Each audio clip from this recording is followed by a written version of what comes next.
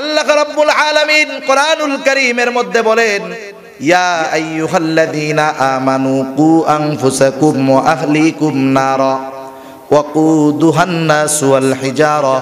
এই আয়াতের মাধ্যমে জানা যায়, জাহান্নামের যেই ইন্ধন হবে সেটা হলো মানুষ এবং পাথর। তাফসিরে ইবনে কাসিরের মধ্যে আসছে, যেই পাথর এটা সাধারণ পাথর নয়, এটাকে বলা হয় গন্ধক পাথর। গন্ধক পাথর যদি আগুনের মধ্যে দেওয়া হয়, আগুনের তেজ আরও বেড়ে যায়। এই আগুনের ভিতরে গন্ধক পাথর থাকবে, মানুষ এই জাহান্নামের ইন্ধন হবে। আর এক জায়গায় আল্লাহ রব্বুল আলামিন বলেন ওয়ালা কদ মিনাল বড় একটা বিপুল সংখ্যক মানুষ এবং জিনের জন্য আল্লাহ তাআলা জাহান্নামকে তৈরি করে রাখছেন।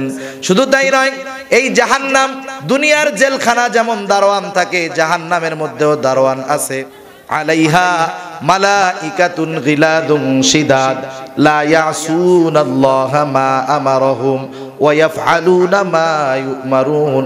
দুনিয়ার জেলখানায় যিনি জেলখানার প্রহরী থাকেন, তারে টাকা পয়সা ঘুষ দিয়া জেলখানার মধ্যে যেই লোকটা আছে তাকে ভালো খাবার দেওয়া যায়, ভালো পোশাক দেওয়া যায়, তার জন্য ভালো বন্দোবস্ত করা যায়।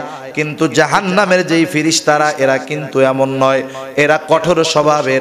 এরা আল্লাহ তাআলা যেটা আদেশ করছে, এর বাইরে কিছু করে না। বরং সেটাই করে আল্লাহ তাদেরকে যেটা আদেশ করেছেন। এই জাহান্নামীরা জাহান্নামের মধ্যে চিৎকার করতে থাকবে আজাবে কোরআনুল করিমের মধ্যে আসতে তাদের চামড়াকে অনেক পুরু বানায় দেওয়া হবে। আগুনে পুড়তে পুড়তে চামড়া পুড়ে যাবে। আল্লাহ রব্বুল আলামিন আবার তাদের চামড়াগুলাকে পুরু বানায় দিবে। এইভাবে শাস্তি চলতে থাকবে। মৃত্যুর স্বাদ আস্বাদন করবে তারা, মরবে না। কারণ আল্লাহ তাআলা বলেন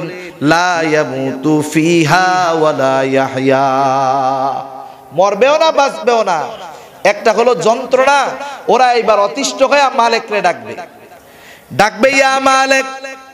ওয়ানা দাউ ইয়া মালেক। তারা মালেকরে ডাকবে, হে মালেক। তফসিলের মধ্যে আসছে, এক হাজার বছর পরে মালেক তাদের ডাকের আওয়াজের জবাব দিবে। কিরে, এখন কেন ডাকো, কারণটা কি? ওরা বলবে, লিয়াকদি আলাইনা রব্বুক। তোমার রবকে বলো, আমাদেরকে জানি চিরন্তন ভাবে ধ্বংস করে দেয়, চূড়ান্ত ফয়সালা দিয়ে দেয়, মৃত্যু দিয়ে দেয়।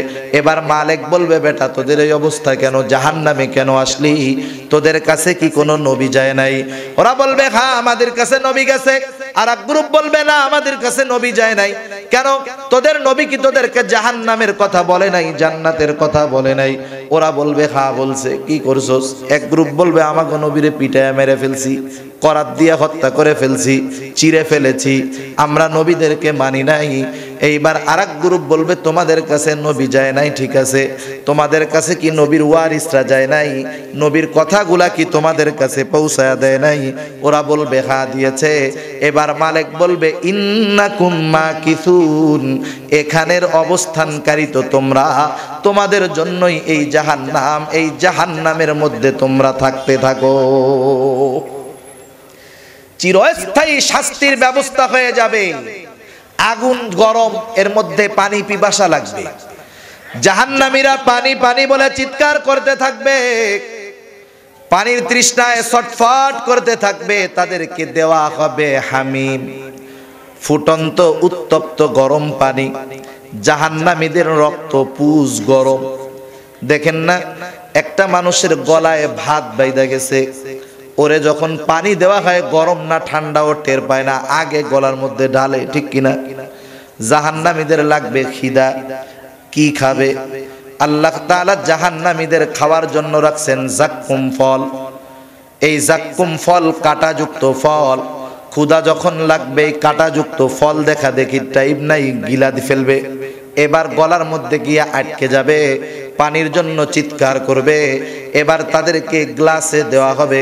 জাহান্নামীদের গরম, উত্তপ্ত, ফুটন্ত রক্ত আর পুষ যখন তারা এটা গিলবে, সাথে সাথে এতটা গরম, পায়খানার রাস্তা দিয়ে নাড়ি বুড়ি সহ সব বের হয়ে যাবে। জাহান্নামীদের দেহকে বড় বড় করে দেওয়া হবে। জাহান্নামকে গাদায় গাদায় ভরা হবে ওদেরকে। শুধু তাই নয়, আল্লাহ রব্বুল আলামিন বলেন ওয়াতারাল মুজরিমিনা ইয়াউমাইযিম মুকাররানিনা ফিল আসফাদ। সারাবিলুহুম মিন কাতিরানিন ওয়া তাগশা জাহান্নামীদের মুখ থাকবে আগুন দিয়ে ঘেরা। তাদের পোশাক হবে আলকাতরার। কারণ এই পোশাকের মধ্যে আগুনের তাপের তীব্রতা আরও বেশি লাগবে, বেড়ি পরানো থাকবে, বিভিন্ন রকমের শাস্তি জাহান্নামের মধ্যে তৈয়ার থাকবে, সাপ বিচ্ছু থাকবে। এই সাপগুলার এমন বিষ, যদি একটা ফোঁটা বিষ দুনিয়ার মধ্যে পড়তো, সারা দুনিয়ার সবুজ উদ্ভিদগুলা মারা যাইত। আলহামদুলিল্লাহ। الحمد لله الذي هدانا للإسلام الذي نزل القرآن هدى للناس وبينات من الهدى والفرقان وخلق الإنسان وكرم وعلمه من البيان ما لم يعلم. فسبحان الذي لا يحصى امتنانه باللسان ولا بالقلم. ونشهد أن لا إله إلا الله وحده لا شريك له. ونشهد أن سيدنا وسندنا وحبيبنا وطبيبنا وأولانا ومولانا محمد صلى الله تعالى عليه وعلى آله وأصحابه وبارك وسلم وبارك وسلم تسليما كثيرا كثيرا. الذي أرسله الله تعالى ورسوله بالحق بشيرا ونذيرا وداعيا إلى الله بإذنه سراجا وقمرا منيرا. أما بعد فأعوذ بالله من الشيطان الرجيم. بسم الله الرحمن الرحيم. كل نفس ذائقة الموت. وإنما توفون أجوركم يوم القيامة فمن زحزح عن النار وأدخل الجنة فقد فاز وما الحياة الدنيا إلا متاع الغرور وقال تعالى فاما من طغى واثر الحياة الدنيا فان الجحيم هي الماوى واما من خاف مقام ربه ونهى النفس عن الهوى فان الجنه هي الماوى صدق الله العلي العظيم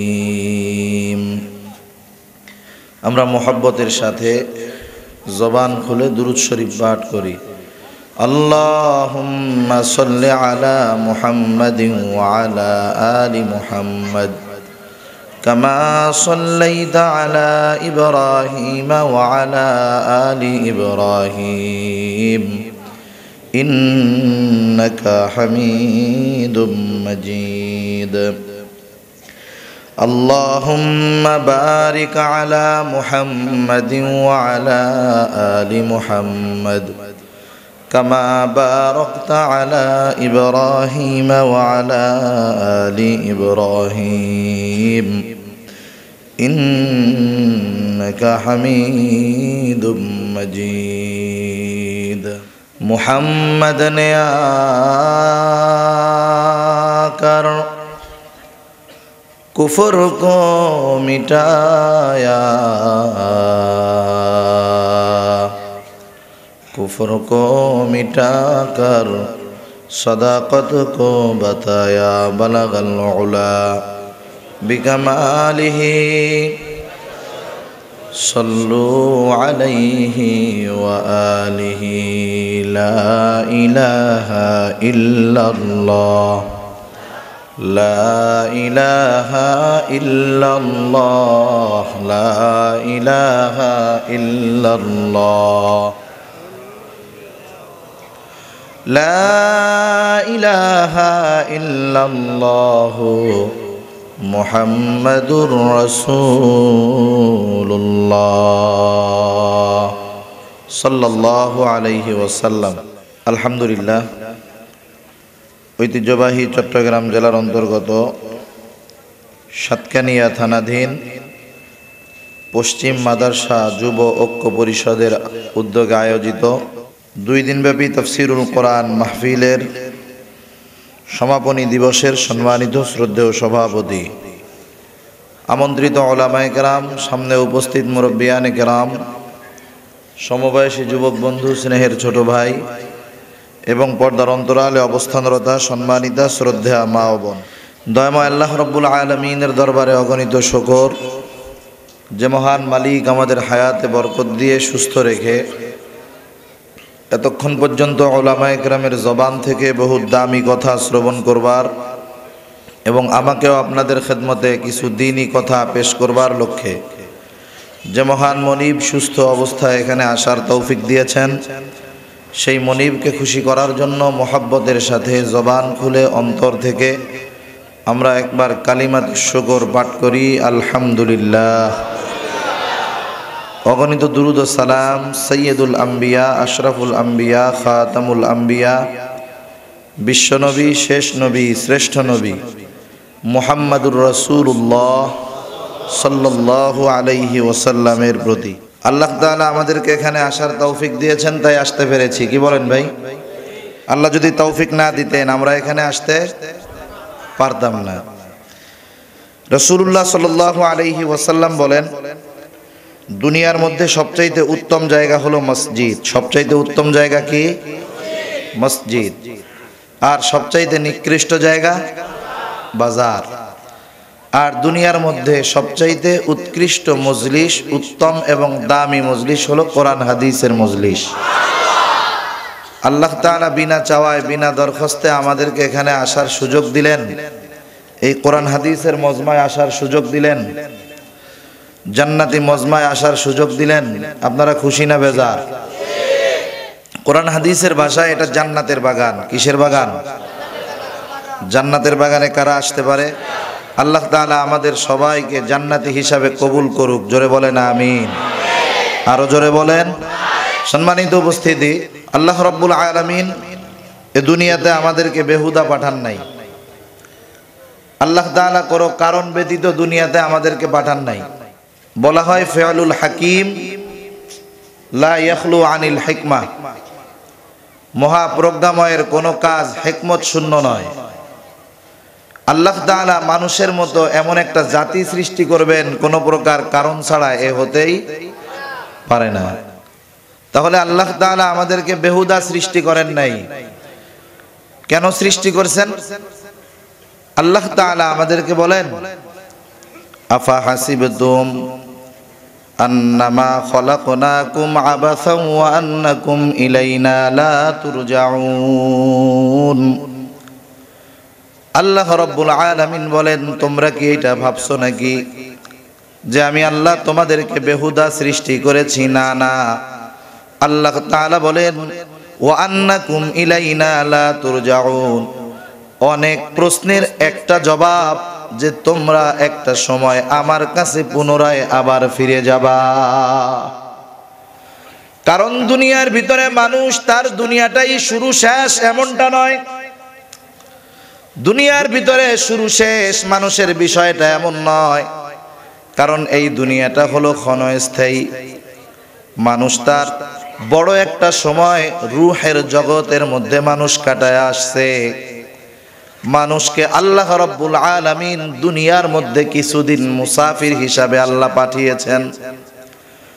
মুসাফিরের মতো এই দুনিয়ায় কিছুদিন বসবাস করার পর, এই দুনিয়া থেকে যখন মানুষ পুনরায় বিদায় নিবে, কবরস্থ হবে, ইন্তেকাল করবে। আবার একটা সময় কবর জগৎ তথা আলমে বরজখের মধ্যে কিছু কাল অতিবাহিত করার পর যখন মানুষেরা কেয়ামতের ময়দানে পুনরায় একত্রিত হবে, জমা করা হবে, বিচার দিবস হবে, ওই দিন মানুষের হিসাব নিকাশের পর আল্লাহ তাআলা সব মানুষগুলাকে দুইটা দলে বিভক্ত করবেন। এই মানুষগুলার মধ্যে একটা দল হবে জান্নাতি, আর একটা দল হবে জাহান্নামি। একটা দল হবে জান্নাতি, আর একটা দল হবে জাহান্নামী। ফারিকুন ফিল জান্নাতি ওয়া ফারিকুন ফিস সাঈর একটা দল হবে জান্নাতের আর একটা দল হবে জাহান্নামের। দুনিয়ায় অনেক দল, অনেক মত, অনেক মতাদর্শ থাকতে পারে, কিন্তু সর্বশেষ গিয়া টিকবে দুইটা দল, কয়টা দল? একটা দল হবে জান্নাতি আর একটা দল হবে জাহান্নামি। যেই দলটা জান্নাতি হবে, সেই দল হবে সফল দল। আর যেই দলটা হবে জাহান্নামী দল, এরা হবে চূড়ান্ত দিনের চূড়ান্ত ব্যর্থ দল। এখন পরিপূর্ণ সফলতা কোথায়? যখন মানুষ জান্নাতে যেতে পারবে, তখন হবে পরিপূর্ণ সফলতা, ঠিক কিনা বলেন? এ দুনিয়া হলো ক্ষণস্থায়ী। সেজন্য এই দুনিয়ার লাভ, লস, ক্ষতি, ব্যবসা, যা কিছু আছে সব ক্ষণস্থায়ী। কষ্ট, আনন্দ, আরাম সব ক্ষণস্থায়ী। কিন্তু আখেরাত চিরস্থায়ী। আর এই আখেরাতের যেটা হবে সফলতা হোক, বিফলতা হোক, লাভ হোক আর লস হোক, সব হবে চিরস্থায়ী। এখন প্রকৃত চালাক মানুষ কারা? রসুল্লাহ সাল্লাহ আলাইহি ওসাল্লাম বলেন, আমরা তো আসলে কারে চালাক মনে করি? যে অল্প টাকায়, অল্প পুঁজিতে বেশি লাভবান হয়, অল্প দিনে টাকাওয়ালা হয়, আমরা তাদেরকে চালাক মনে করি, ঠিক কিনা বলেন? কিন্তু আসলে আল্লাহর নবীর ভাষায় চালাক কে? রসুল্লাহ সাল্লাহ আলাইহি ওয়াসাল্লাম বলেন, প্রকৃত চালাক হলো ওই ব্যক্তি যে অল্প দিনের দুনিয়াকে ব্যবহার করে চির শান্তির জান্নাতের মালিকানা লাভ করতে পারে।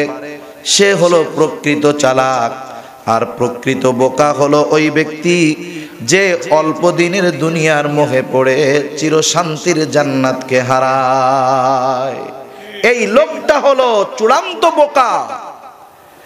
কারণ সে চোখ বুজার সাথে সাথে এই দুনিয়ার কোনো কিছুর মালিকানা তার থাকবে কিন্তু মৃত্যুকে অস্বীকার সে করে না, মরতেই হবে, ঠিক কিনা বলেন?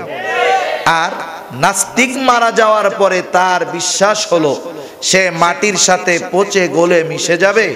কিন্তু মোমেন মুসলমান, সে যদি এই বিশ্বাস করে যে না, মৃত্যুর সাথে সাথে আমার সব শেষ তাইলে তো ও আর ইমানদার নাই, ও তো বেঈমান, ঠিক কিনা বলে? সেজন্য মুমিন সর্বদা আখেরাতকে উজ্জ্বল করার চিন্তা ভাবনায় থাকবে। কারণ তার কাছে একটা সময় মৃত্যু আসবে। আল্লাহ তাআলাও বলেন, কেন আল্লাহ মৃত্যুকে দিলেন? আল্লাহ তাআলা কোরআনুল কারীমের এক জায়গায় বলেন, আল্লাযী খলাকাল মাউতা ওয়াল হায়াতা লিয়াবলুয়াকুম আইয়ুকুম আহসানু আমালা। আল্লাহ তাআলা হায়াত মাউত সৃষ্টি করেছেন এই জন্য দেখতে চান, আমাদের মধ্যে কার আমল, কার কাজটা কত সুন্দর, সুবহানাল্লাহ।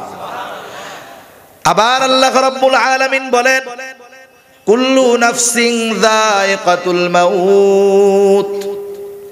প্রতিটা প্রাণকে মৃত্যুর স্বাদ আস্বাদন করতেই হবে করতেই হবে। কবি কত সুন্দর কথা বলেন। সিন, কুল্লু নাফসিং শারিবুন, কবরু বাইতিন কুল্লু নাসিন দাখিলু।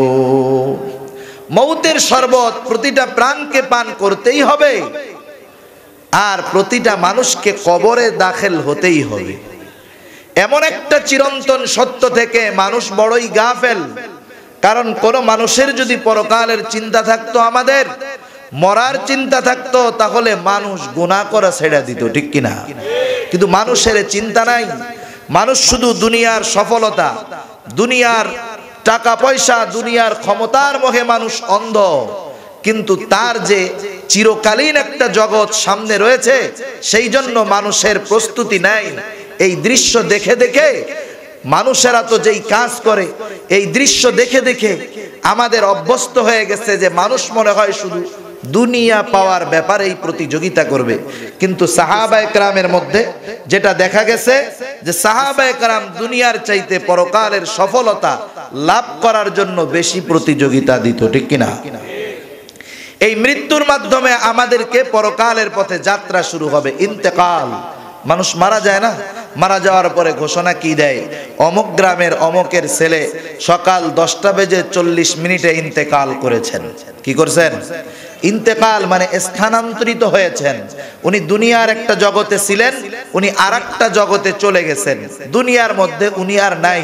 ওনার দেহ এখন লাশ হয়ে গেছে। একটা মানুষ মারা যাওয়ার পরে আব্দুল করিম নাম কি বলে? যেটা আব্দুল করিমের লাশ। লাশ কারে বলে? লাশ এই উন যার মধ্যে কিছু নাই, এটা হলো লাশ। আল্লাহ রাব্বুল আলামিন এরপরে বলেন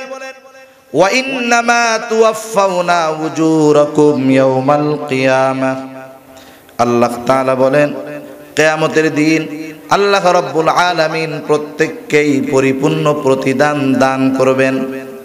তার মানে কেয়ামত আল্লাহ তাআলা কায়েম করবেন এই জন্য যে কেয়ামতের দিন দুনিয়ায় যেই মানুষটা যেমন আমল করেছে কেয়ামতের দিন ওই আমলের অনুপাতে মানুষকে আল্লাহ তাআলা প্রতিদান দিবেন। এজন্য আল্লাহ কেয়ামত কায়েম করবেন। দেখেন, দুনিয়ার ভিতরে যারা মুমিন মানুষ, মুমিন মুসলমান, পরহেজগার, এই মানুষগুলা গোনা করে না। সুদ খাওয়ার সুযোগ আছে, সুদ খায় না। ঘুষ খাওয়ার সুযোগ আছে, ঘুষ খায় না। মিথ্যা কথা বলার সুযোগ আছে, মিথ্যা কথা বলে না। দুনিয়ার সব লোভ লালসা ত্যাগ করে কেন? যাতে সে পরকালে সফল হতে পারে, ঠিক কিনা বলে এখন যদি পরকাল কায়েম না হয়, তাহলে যেই মানুষগুলা দুনিয়ার স্বাদ নিল না, তাহলে সেই মানুষগুলো ঠইয়া গেল না? সে মানুষগুলো তো ঠইগা গেল। আল্লাহ বলেন, না, এমনটা হবে না। আল্লাহ বলেন আমনা জাআলুল্লাযীনা আমানু ওয়া আমিলুস কাল মুফসিদিনা ফিল আরদ। আমনা জাআলুল মুত্তাকিনা কাল ফুজ্জার। আল্লাহ রব্বুল আলামিন বলেন আমনা জাআলুল্লাযীনা আমানু ওয়া আমিলুস সালিহাত। যেই মানুষগুলা ঈমান এনেছে আর নেক আমল করেছে, আমি কি তাদেরকে সমান বানায় দিব? কাল মুফসিদিনা ফিল আরদ, যারা জমিনের মধ্যে বিপর্যয় সৃষ্টি করেছে, গোনার কাজ করেছে। আল্লাহ তাআলা বলেন, না না, কখনো যারা ইমান এনেছে আর নেক আমল করেছে তারা আর জমিনে ফেতনা ফাসাদ সৃষ্টি যারা করেছে তারা কখনো সমান হতে পারে না কেয়ামতের ময়দানে আল্লাহ তাআলা দুইটা গ্রুপে ভাগ করে দিবেন আল্লাহ রাব্বুল আলামিন তাই বলেন ونضع الموازين القسط ليوم القيامة فلا تظلم نفس شيئا وإن كان مثقال حبة من خردل أتينا بها وكفى بنا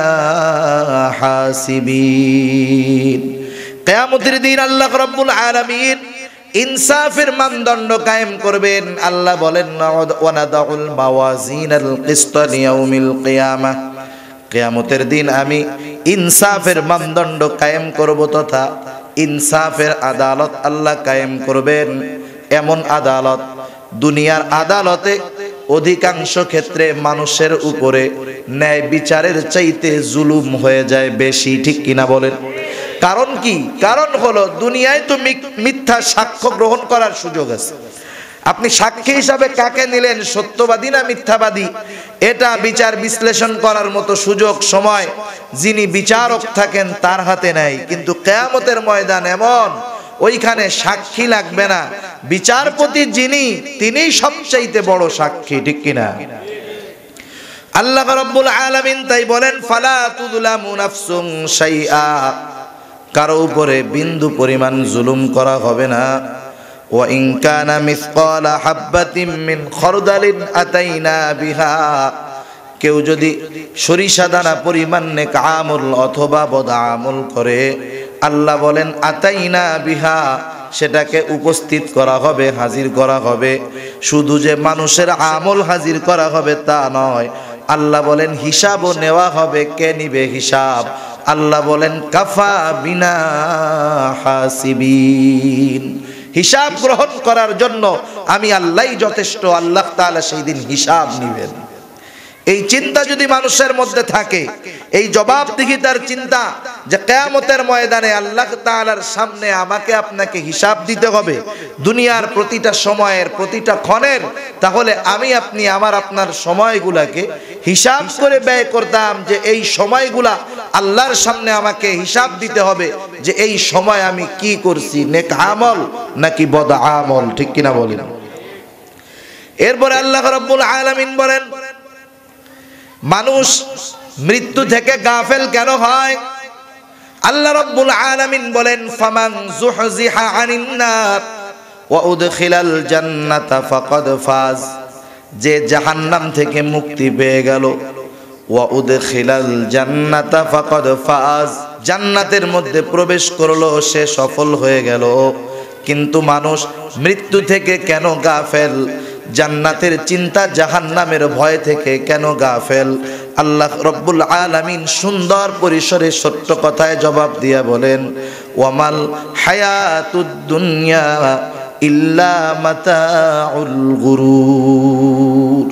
আল্লাহ তাআলা জানাতে চান যে এই দুনিয়া হলো খেল তামাশার জায়গা। আর মানুষ এই অল্প মজার দুনিয়াকে পেয়ে আখেরাতকে ভুলে যায়। আর আমার নবী বলেন, এই মানুষগুলা হলো সবচাইতে বড় বোকা, ঠিক কিনা বলেন? সেজন্য আমরা কি বোকা হব না চালাক হব?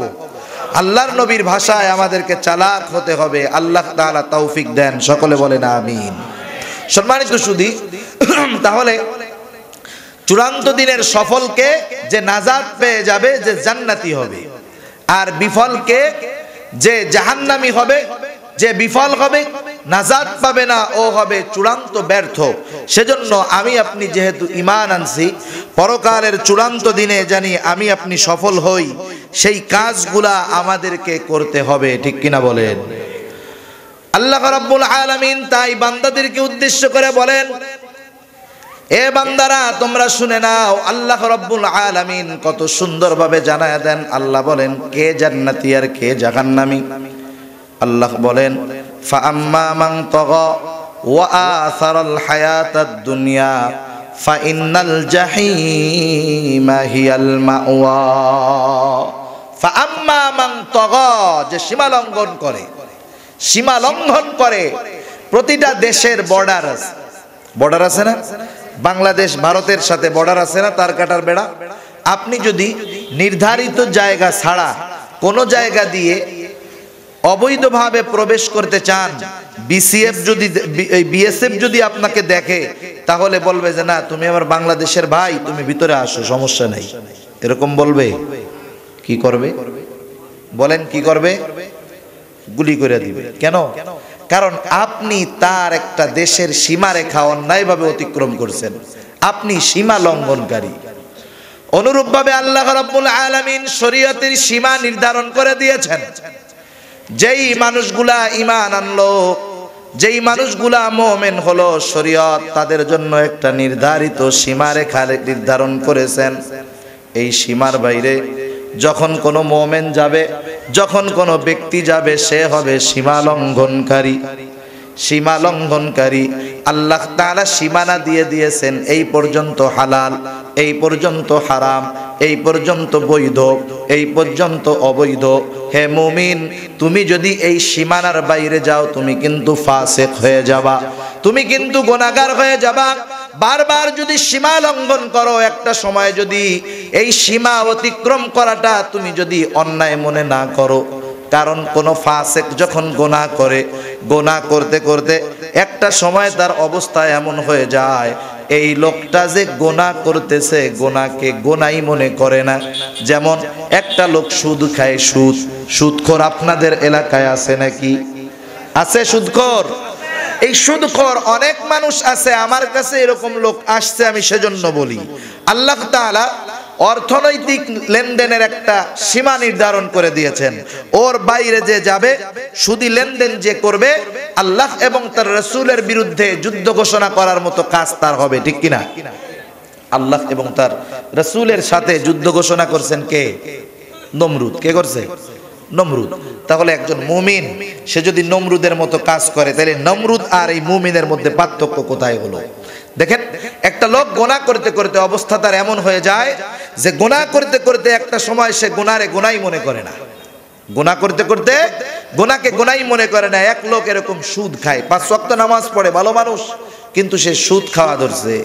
সুদ খায় এখন একটা সময় সুদ খাইতে খাইতে অবস্থা এমন। হুজুরের কাছে আইসা বলে, হুজুর, আপনারা সুদের বিরুদ্ধে ওয়াজ করেন, কিন্তু আমার তো মনে হয় সুদ বৈধ আছে। নাউজুবিল্লাহ।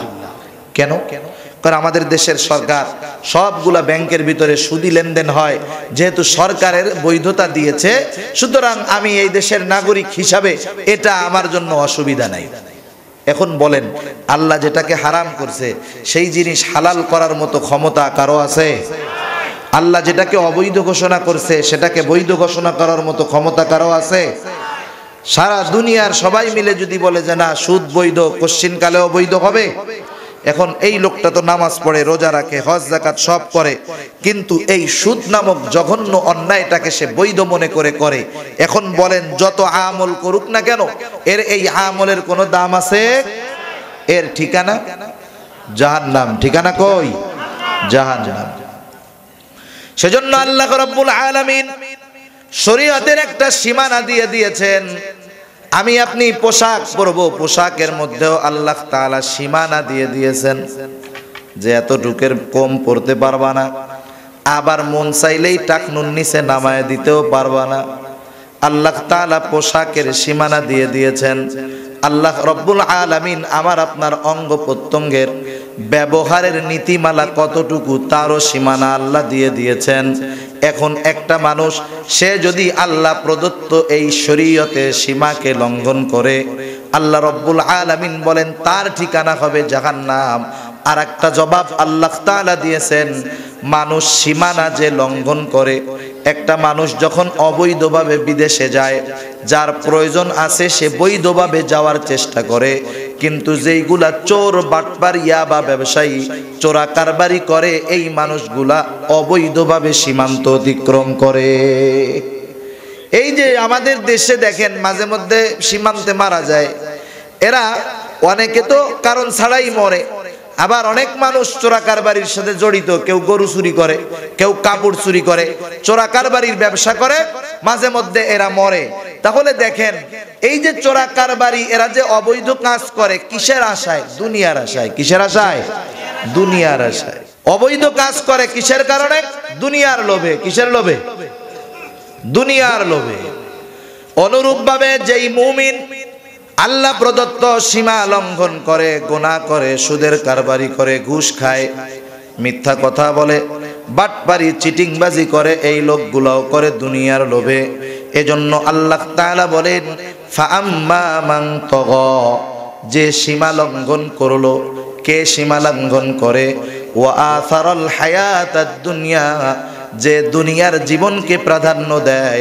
আল্লাহ বলেন ওয়ানাহান নাফসা আনিল হাওয়া আল্লাহ তাআলা এরপরে বলেন ফাআম্মা মান তাগা ওয়া আসারাল হায়াতাদ দুনিয়া ফাইন্নাল জাহিমা হিয়াল মাওয়া তার আবাসস্থল হবে জাহান্নাম তার আবাসস্থল হবে আগুন এরপর পরে আল্লাহ রব্বুল আলামিন বলেন وأما من خاف مقام ربه ونهى النفس عن الهوى ফাইনাল আগে আল্লাহ তাআলা জাহান্নামীদের দুইটা ত্রুটির কথা বলছেন। এক নাম্বার, সীমা লঙ্ঘন করে। দুই নাম্বার, এই জাহান্নামীরা দুনিয়াকে প্রাধান্য দেয়। আর জান্নাতীদের গুণ বর্ণনা করতে গিয়ে আল্লাহ তাআলা বলেন, ওয়া আম্মা মান খাফা মাকামা রাব্বিহি। যে তার রবের সামনে দণ্ডায়মান হওয়াকে ভয় করে। ওয়া নাফসা আনিল হাওয়া। এবং নফসের তাবেদারি করে না। মন যা বলে তা করে না। আল্লাহ বলেন ফাইনাল জান্নাতা হিয়াল মাওয়া। যেই মানুষ এই দুইটা গুণ অর্জন করতে পারে, এক নাম্বার গুণ, আল্লাহর সামনে দণ্ডায়মান হতে হবে, এই ভয় রাখে। প্রথম গুণ কি? আল্লাহর সামনে দাঁড়াতে হবে। এই ভয় যেই মুমিন রাখে, সে তো জান্নাতে যাবে। শুধু তাই নয় আল্লাহ রাব্বুল আলামিন কোরআনুল কারীমের মধ্যে বলেন, ওয়ালিমান খাফা মাকামা রাব্বিহি জান্নাতান। যে আল্লাহর সামনে দণ্ডায়মান হওয়াকে ভয় করে, তার জন্য দুইটা জান্নাত। কয়টা জান্নাত? অনেক মুফাসসির লেখেন, এই দুইটা জান্নাতের সুসংবাদ মুমিন দুনিয়া থেকে পেয়ে যায়। সুবহানাল্লাহ বলেন, কারণ কি? কোরআনুল কারীমের মধ্যে এর প্রমাণ আছে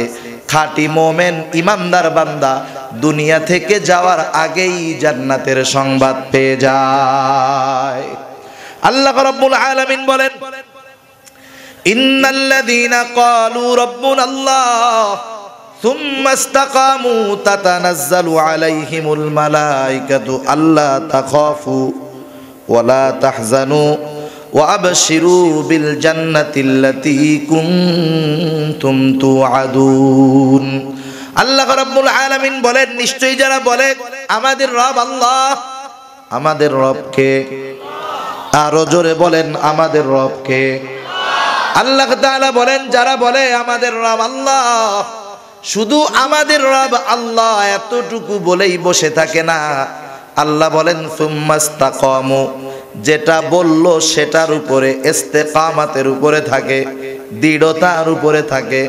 এখন দৃঢ়তা কিসের উপরে রাখে? কোনো ব্যক্তি যখন এই কথার স্বীকৃতি দেয়, আমার রব আল্লাহ, ওই সময় থেকে ওই লোকটার জন্য তার রবের সমস্ত হুকুম আহকাম মানাটা আবশ্যক হয়ে যায়। শুধু সময়ের জন্য মানে কিছু সময়ে মানে কিছু সময়ে মানে এমন মানে না, এমনটা নয়। আল্লাহ বলেন আল্লাহর আদেশ নিষেধের উপরে দৃঢ়তার সাথে থাকে, জীবন অতিবাহিত করে। এই মানুষগুলা যখন মৃত্যুর সময়ের কাছাকাছি উপনীত হয় এই মানুষগুলার চিন্তাধারা তখন হয় অন্যরকম। কারণ যেই মানুষগুলা পাঁচ ওয়াক্ত নামাজ পড়ে, রোজা রাখে, দিনের উপরে চলে, এই মানুষগুলার যখন দাড়ি পেকে যায়, এদেরকে যদি প্রশ্ন করা হয়, ভাই অথবা চাচা, দুনিয়ার এই শেষ মুহূর্তে এসে আপনার আশা কি? ওই লোকগুলা তখন বলে, আশা আর কোনো কিছু না।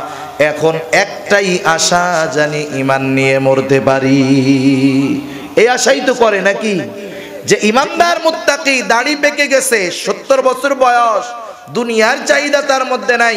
তার মধ্যে তখন চিন্তা হলো যে আমাকে ইমান নিয়ে মরতে হবে, কারণ ওই লোকটা জানে, আমি যত আমল করি না কেন, ইমান ছাড়া যদি মরি, চিরস্থায়ী জাহান নাম ঠিক কিনা আল্লাহ রাব্বুল আলামিন জানায় দেন, এই লোকগুলা যখন জীবনের অন্তিম মুহূর্তে চলে আসে কারণ মানুষের কিছু আলামতে মাউত আছে মৌতের কিছু আলামত আছে।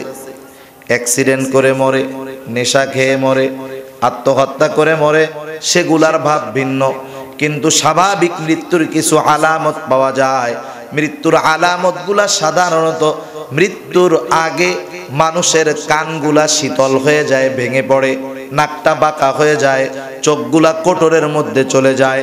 হাত পা শীতল হয় এক দৃষ্টিতে কোন দিকে জানি তাকায় আছে এমনটা মনে হয়। অনেকের তো শ্বাসকষ্ট নাই, কিন্তু মৃত্যুর পূর্ব মুহূর্তে শ্বাসকষ্ট গড়গড়া শুরু হয়।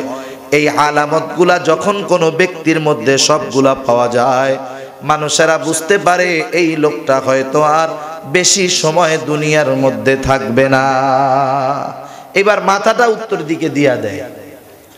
মাথাটা উত্তর দিকে দিয়া দেয়, মালাকুল মাউতের জন্য অপেক্ষা করতে থাকে। আর খাঁটি মমিন যে, ওর তো চিন্তা ইমান নিয়ে মরতে হবে। আর শয়তান কিন্তু খুব ভালো মতো জানে, যত নেক আমল দুনিয়ায় করুক না কেন। নাম। এইবার শয়তান মৃত্যুর সময় তার সব বাহিনী নিয়ে হাজির হয়, সব বাহিনী নিয়ে আক্রমণ করে। বলেন, সবচাইতে বড় উপকারী কে যে বিপদের সময় উপকার করে, ঠিক কিনা? সবচাইতে বড় বন্ধু সে যে বিপদের সময় থাকে দুনিয়া থেকে মৃত্যুর সময় হলো একটা মানুষের জন্য সবচাইতে বড় কঠিন মুহূর্ত। কারণ এই মুহূর্তের অবস্থার উপরে নির্ভর করতেছে, এই লোকটা কি জান্নাতি হবে না চিরস্থায়ী জাহান্নামি হবে, ঠিক কিনা? এবার আল্লাহ রাব্বুল আলামিন সারাটা জীবন আল্লাহর গোলামি করছে, আল্লাহ তাআলার গোলামি করছে। আল্লাহ রব্বুল আলামিন এই মৃত্যুর কঠিন সময় শয়তান যখন আক্রমণ করে, আল্লাহ তাআলা বলেন, তাতানাজ্জালু আলাইহিমুল মালাইকা। আল্লাহ রব্বুল আলামিন আসমান হতে তার জন্য রহমতের ফিরিস্তা আল্লাহ পাঠায়া দেয়। এই ফিরিস্তা ওই লোকের কাছে আসে, আইসা বলতে থাকে আল্লাহ তাখাফু ওয়ালা তাহজানু। আল্লাহ তাখাফু ওয়ালা তাহজানু। হে আল্লাহর বান্দা, তুমি ভয় পেও না। শয়তান তোমার ইমান নিতে আসছে, তুমি ভয় পেও না। ওয়ালা তাহজানু, তুমি ভবিষ্যতের জন্য কোনো চিন্তাও করো না। তার চিন্তাকে দূর করার জন্য, ভয়কে দূর করার জন্য।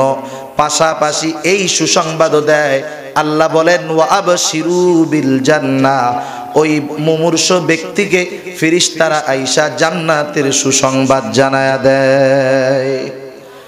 আসার আগে যখন ওই রান্না করে বিরিয়ানি বাইড়া বাইড়া ট্রেনের মধ্যে উঠাবে, নড়াচড়া হবে আর গ্রান চড়াবে একজন আর একজনকে দেখছ, আজকে কিন্তু বিরিয়ানি দিছে। তাহলে অনেক সময় গ্রানই বলে দেয় যে আমার জন্য কি আসতেছে, কথা বুঝতে পারছেন? এজন্য অনেক মুমিন জান্নাতের ঘ্রাণ পাবে, জান্নাতের খুশবু পাবে। সে বুঝতে পারবে হ্যাঁ আমার জন্য জান্নাত আছে। আবার অনেক মানুষ জান্নাতের সুসংবাদ তার কর্ণ কুহুরে পৌঁছানো হবে। অনেক মানুষ জান্নাত হয়তো দেখতে দেখতে দুনিয়া থেকে বিদায় নিবে। আবার কত আল্লাহর বান্দা এমনও দুনিয়া থেকে গেছে, যারা জান্নাত দেখেও পরিতৃপ্ত হয় না, জান্নাতের সংবাদ পেয়েও পরিতৃপ্ত হয় না, তাদের সারাটা জীবন জান্নাতের মালিককে দেখা। আশা করে যে আমি জান্নাতের মালিক কি চাই, কারণ জান্নাতের মালিককে যদি পাওয়া যায়, তাহলে জান্নাতের লেগা টেনশন করে লাভ আছে নাকি? এক বাদশাহ চারটা বউ। কয়টা বউ? চারটা বউ। আছে নাকি কারও ওই জায়গায়? হ্যাঁ? নাই কারও? চার বউ একসাথে থাকলে এখন তো যে অবস্থা জাহান নাম লাগবে না। ও জায়গার অবস্থা, ও বাড়ির অবস্থা এমনিই গরম হয়ে যাবে। তা যাই হোক, চারটা স্ত্রী ওনার। আর স্বাভাবিক, একাধিক স্ত্রী থাকলে এক স্ত্রীর উপরে আর এক স্ত্রীর হিংসা থাকতেই পারে। বাদশাহ একদিন খুব ভালো মুডে আছে আর কি। মন ভালো। চারজন স্ত্রীরে বলতেছে, আজকে তোমরা যা চাও তাই দিবে। যে যেটার উপরে হাত রাখবা, সে সেইটা পাবা। একজন এইসা স্বর্ণের উপরে হাত রাখছে। বাদশাহ বলে হ্যাঁ এই স্বর্ণগুলা তোমার। আর একজন আইসা হীরার উপরে হাত রাখছে বলে, এইটা তোমার। আর একজন আইসা মুক্তার উপরে হাত রাখছে বলে, এইটা তোমার। কিন্তু আর একজন বাদশার কান্দের উপরে হাত দিয়ে দাঁড়ায় আছে। বাকি তিনজন বলে, তুই কি কিছু চাও না? তুমি কি বোকা নাকি? আমি মুক্তা নিলাম। ও হীরা নিল, ও স্বর্ণ নিল, তুমি কেন বসে আছো? বাদশাহ বলে, তোমার কি কিছু প্রয়োজন নাই? বলে হ্যাঁ আছে। যেটা প্রয়োজন সেটার উপরে হাত রাখছি। ওদের স্বর্ণ প্রয়োজন, রূপা প্রয়োজন, মুক্তা প্রয়োজন, আমার ওগুলা প্রয়োজন নাই, আমার বাদশাকে প্রয়োজন। আমি যদি এইটারই পাই, তাহলে সবই তো আমার। মানলাহুল মাওলা, ফালাহুল কুল। সেজন্য আমি তো বাদশাকে চাই, বাদশাকে যদি পাই, সবই আমার। সেই জন্য অনেক আল্লাহর পাগল এমন দুনিয়া থেকে গেছে, দুনিয়ার চিন্তা না, জান্নাতের আশা করে না। এরা আল্লাহকে চায়। এমন একজন আল্লাহর বান্দা ছিল, তার নাম ছিল শেখ আহমদ খজরু আবি রহমাতুল্লাহ আলাই ইবনে ফারেজ রহমাতুল্লাহ আলাই এই লোকটা জীবনের অন্তিম মুহূর্তে পৌঁছায় গেছে। বোঝা যায় যে দুনিয়ার মধ্যে আর বেশি সময় থাকবে না। এই লোকটাকে উত্তর দিকে মাথা দিয়ে শুয়ায় দেওয়া হলো। এই লোকটা বারবার আকাশের দিকে তাকায় আর চোখ দিয়ে পানি পড়ে। একটু পরে আল্লাহ রব্বুল আলামিনকে উদ্দেশ্য করে বলে আল্লাহ, আপনি কি আমাকে জান্নাত দেখান? জান্নাতের লোভ দেখান? আমি সারাটা জীবন আপনার গোলামি করছি গোনার থেকে বেঁচে থাকছি। এই জান্নাতের আশায় নয় জাহান্নামের ভয়ও নয়। সারাটা জীবন আমি আপনাকে পাওয়ার আশায় এমনটা করেছি। আমার জান্নাত জাহান্নামের পরোয়া নাই, আমি আপনাকে চাই, সুবহানাল্লাহ। এনার খাদেম বলতেছে যে আল্লাহ তাআলার কাছে এই ফরিয়াদ করার পরে কালিমা পড়তে পড়তে হযরত দুনিয়া থেকে বিদায় নিয়ে গেছে সুহান আল্লাহ সেজন্য দেখেন, জান্নাতি বান্দা আল্লাহর ভয় যে করে, দুনিয়ায় থাকতে জান্নাতের সংবাদ তার কানে পৌঁছায়া যায়, সুবহানাল্লাহ বলেন। আর একটা ঘটনা মনে পড়ল। একটা কিতাব আছে, মান আশা বা আদাল মউত আবু বকর ইবনে আবিদ দুনিয়া রহমাতুল্লাহ আলাইহি লিখছেন। এই কিতাবের মধ্যে তিনি একটা যুবকের ঘটনা বর্ণনা করছেন। এই যুবক হযরত ওমর রাদিয়াল্লাহু তাআলা আনহুর জামানায় মসজিদে নববীর মধ্যে আসহাবে সুফার সাথে থাকতো। যুবকটা বড় সুদর্শন। দেখতে চেহারা অনেক সুন্দর। এই যুবকের দুনিয়ায় কেউ নাই। এই যুবকের খালি তার মা, আব্বা বাইচা আছে। দুনিয়ায় আর কেউ নাই। যুবক প্রতিদিন রাতের বেলায় এশান নামাজের পর সে তার বাবার কাছে গিয়ে বাবার যা খেদমতের প্রয়োজন, সব প্রয়োজন মিটায়া আবার রাতে এসে মসজিদে নববীতে থাকতো। স্বাভাবিক কি হয়? স্বাভাবিক যদি একটা যুবক মানুষ বিবাহ শাদী করে নাই হ্যান্ডসাম এ যদি নামাজি হয়, এলাকার মানুষ ওকে ভালোবাসে, ঠিক কিনা বলেন? ক্লাসের মধ্যে যেই ছেলেটা পড়া পারে ভালো, একে শিক্ষক ভালোবাসে। এলাকার মধ্যে যেই যুবকটার চরিত্র ভালো, তাকে সব মানুষ ভালোবাসে। যুবক মানুষ আরও পরহেজগার, ওরে সবাই ভালোবাসে। কিন্তু সমস্যা হলো, এই লোক ছেলেটা যখন বাড়িতে যায়, পথিমধ্যে একজন মেয়ে দুশ্চরিত্র মহিলা এই ছেলেটাকে ইপটিজিং করে, ডিস্টার্ব করে, কুপ্রস্তাব দেয়। এখন তো যুগ পাল্টে গেছে। একটা সময় পত্রিকার মধ্যে দেখতাম যে মাঝে মধ্যেই দেখি যুবক যুবতীকে প্রেমের প্রস্তাব দিল। এই প্রস্তাব যুবতী ফিরাইয়া দিল। এখন যুবক রাগ হইয়া অ্যাসিড নিক্ষেপ করে তার মুখকে ঝলসায়া দিছে। এরকম ঘটনা পাঁচ, সাত, আট, দশ বছর আগে প্রায় পাওয়া যাইত। কিন্তু প্রশাসন দেখল কোনো আইন করে এটা দমন করা সম্ভব হচ্ছে না। তখন অ্যাসিড নিক্ষেপের শাস্তি কিন্তু মৃত্যুদণ্ড। অ্যাসিড নিক্ষেপের শাস্তি, মৃত্যুদণ্ড। তখন দেখা গেল, যখন শাস্তি কঠিন হলো, তখন অপরাধটা কমে গেল। এখানে কি বুঝলেন? এটা তো আমাদের সামনে প্রমাণ আছে। এই যে এত ধর্ষণ হইতেছে, এত অপরাধ হইতেছে, যদি আপনি এটার জন্য মৃত্যুদণ্ড দেন, ধর্ষণ কমে যাবে, ঠিক কিনা বলেন? সেজন্য অপরাধ যদি বড় হয়, শাস্তিও বড় দরকার। কিন্তু দেখেন, সম্প্রতি সময়ে অনেক ধর্ষণ হয়েছে কিন্তু একটারও শাস্তি হয় নাই। তাহলে সমাজ বিজ্ঞানের একটা কথা হলো এরকম, যেই সমাজের মধ্যে অপরাধী তার অপরাধের যথাউপযুক্ত শাস্তি পায় না, সেই সমাজ থেকে ওই অপরাধ দূর করা কোনোদিন সম্ভব নয়। আজকে আমাদের দেশে দুর্নীতি হয়, কিন্তু যারা দুর্নীতি করে, এই দুর্নীতিবাজদের কঠিন কোনো শাস্তি হয় না। যদি কঠিন শাস্তি হইতো, দুর্নীতি বন্ধ হইতো। ঠিক কিনা বলেন? যারা মজুদদার করে, কোনো কারণ ছাড়া ফসলকে গুদমজাত করে পেঁয়াজ রে স্টক করে, তিরিশ টাকার পেঁয়াজ তিনশো টাকা বানায় ফেলে, যারা বানাইছে তাদের কিন্তু উপযুক্ত শাস্তি হয় নাই হয়েছে তাদের হয় নাই, শাস্তি খাইছে কেডা? আপনাকে এই যে বাজারের দিন যেই বেটা আড়াইশো টাকা করে কিনে আইনে তিনশো টাকা বিক্রি করছে। ও কিন্তু শাস্তি খাইছে, মামলা খাইছে, কিন্তু যেখানে মূল অপরাধীরা ছিল, সে জায়গায় কিন্তু হানা দেওয়া হয় নাই। সেজন্য অপরাধের যথা উপযুক্ত শাস্তি যদি না হয়, তাহলে সেই সমাজের মধ্যে অপরাধ কখনো কমে না, বরং নতুন নতুন অপরাধের আবির্ভাব ঘটে, ঠিক কিনা বলেন? এখন এই যুবকরে তো ইপটিজিং করে। আর একটা সময় এরকম ছিল, ছেলেরা মেয়েদের ইপটিজিং করতো, অ্যাসিড মারতো, কিন্তু যুগের হাওয়া পরিবর্তন হলো। মাঝে মধ্যে এখন খবর পাই যে একজন মেয়ে আর একটা ছেলের প্রেমের প্রস্তাব দিল। ছেলে এই প্রস্তাব মানে নাই, মেয়ে ছেলের অ্যাসিড মেরে দিচ্ছে এই আমল এখন মহিলারা শুরু করছে। কারণ অ্যাসিড নিক্ষেপকারী পুরুষের জন্য শাস্তি মৃত্যুদণ্ড, মহিলার জন্য তো হয় নাই। ওর তো সুযোগ আছে, এই সুযোগে ও আমলটা করে নিল আর কি। যাই হোক, ওই মহিলা ডিস্টার্ব করে প্রতিদিন। যুবককে কুপ্রস্তাব দেয়, যুবক প্রতিদিন এড়ায় এড়ায় চলে যায়। একদিন শয়তানের ধোকায় পড়ে গেছে যুবক। শয়তানের ধোকায় পড়ে যুবক মহিলার সাথে তার ঘরের মধ্যে ঢুকে গেছে। এই মহিলা এত দিনের মেহনত, আজকে সফল হয়ে গেছে, মহিলা আনন্দিত হয়ে গেছে।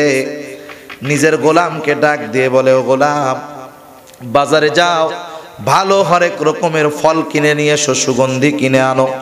আজকে আমার জন্য বড় আনন্দের দিন, কারণ আজকে আমি আমার প্রেমাস্পদকে কাছে পেয়ে গেছি, প্রিয়জনকে কাছে পেয়ে গেছি, আজকে আমার মতো আনন্দ আর কারও নাই। এবার লোকটা চলে গেছে বাজারে, ফল ফলারি কেনার জন্য, সুগন্ধি আনার জন্য, আর মহিলা যুবকটাকে নিয়ে আস্তে আস্তে অন্দর মহলের মধ্যে ঢুকলো। হঠাৎ করে যুবকটা অজ্ঞান হয়ে জমিনের উপরে পড়ে গেল। বলেন তো, যত আনন্দ হোক না কেন বিয়া বাড়িতে কত আনন্দ। কিন্তু হঠাৎ করে যদি মেয়েটা অসুস্থ হয়ে যায়, মেয়েটা যদি স্ট্রোক করে বসে, গোটা বাড়ির আনন্দ মুহূর্তের ভিতরে শোকে পরিণত হয়। কারণ যাকে কেন্দ্র করে এই আনন্দ, সেই অসুস্থ। সে মারা গেছে স্ট্রোক করছে, সব আনন্দ শেষ। যখন যুবকটা অজ্ঞান হয়ে গেছে, মহিলার আনন্দ শেষ। গোলাম বাজার থেকে আসার পর গোলাম রে বলে, ও গোলাম, অবস্থা কিন্তু শোচনীয়। এক কাম করো সব রাখ আগে ধর, একে ধরাধরি কইরা আগে জলদি করে নিয়ে ওর বাপের ঘরের সামনে ফালায় আসি। নাইলে ও যদি আমার ঘরের মধ্যে মারা যায়, আর যদি খলিফা ওমর জানতে পারে, তাহলে কিন্তু আমার আর নিস্তার থাকবে না। এইবার দুইজনে মিলে ধরাধরি করে যুবকটারে নিয়ে বাপের ঘরের সামনে ফালায়া রাখছে। এদিক দিয়ে অনেক রাত হয়ে গেল। যুবকটা এখন পর্যন্ত বাসায় আসে না। প্রতিদিন আসে কি ব্যাপার? বাবা চিন্তিত হয়ে গেছে। দরজা খুলে সন্তানের খোঁজে বাবা বের হবে। দরজা খুলতেই দেখে তার কলিজার টুকরা সন্তান তার ঘরের দরজার সামনে অজ্ঞান হয়ে পড়ে আছে। লোকজনরে ডাক ডুক দিয়া পানি টানি দিয়া হুশ ফিরাইছে। এখন যুবক খালি কান্না করতেছে। মানুষেরা জিজ্ঞাসা করে, যুবক কেমন করে তুমি এইখানে আসলা? আমাদেরকে একটু বলো, কেমন করে তুমি অজ্ঞান হলা একটু বলো।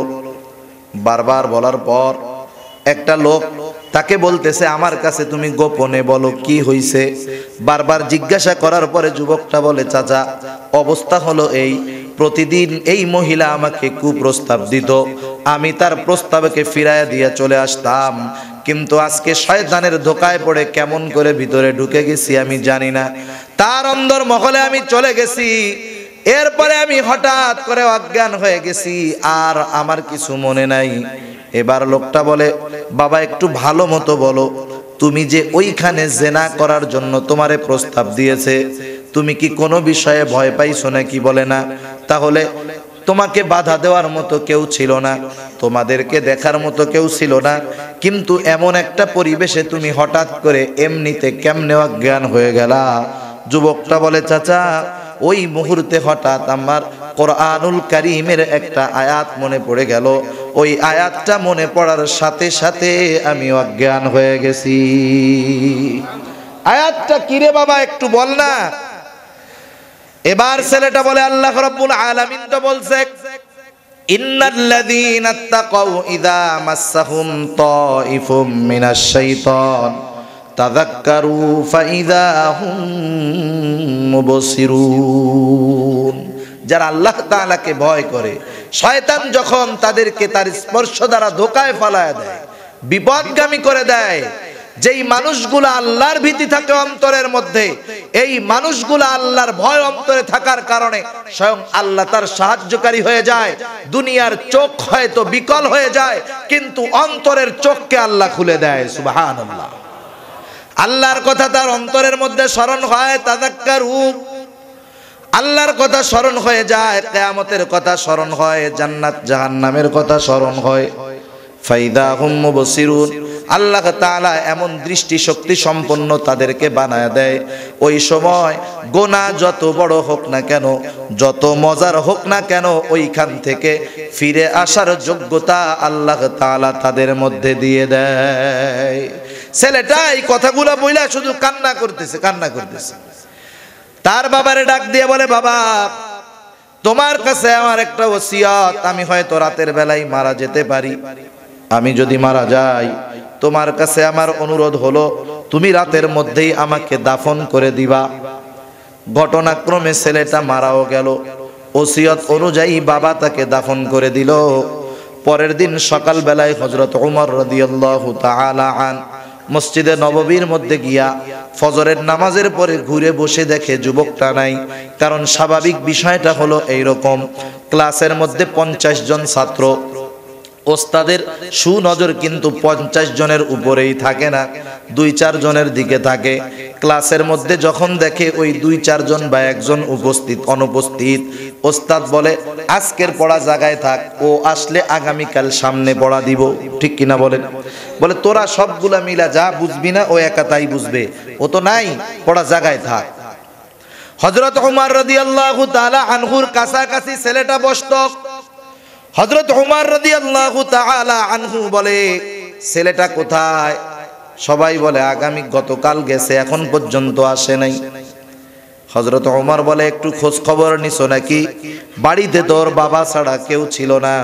খোঁজ নিয়ে দেখো ছেলেটার বাবা মারা গেল কিনা বা কোনো অসুবিধা হলো কিনা? দুই চারজন লোক চলে গেল ছেলেটার বাড়ি। যায় দরজা টোকা দিছে, বৃদ্ধ মানুষ দরজা খুলছে, জিজ্ঞাসা করে, আপনার ছেলেটা কোথায়?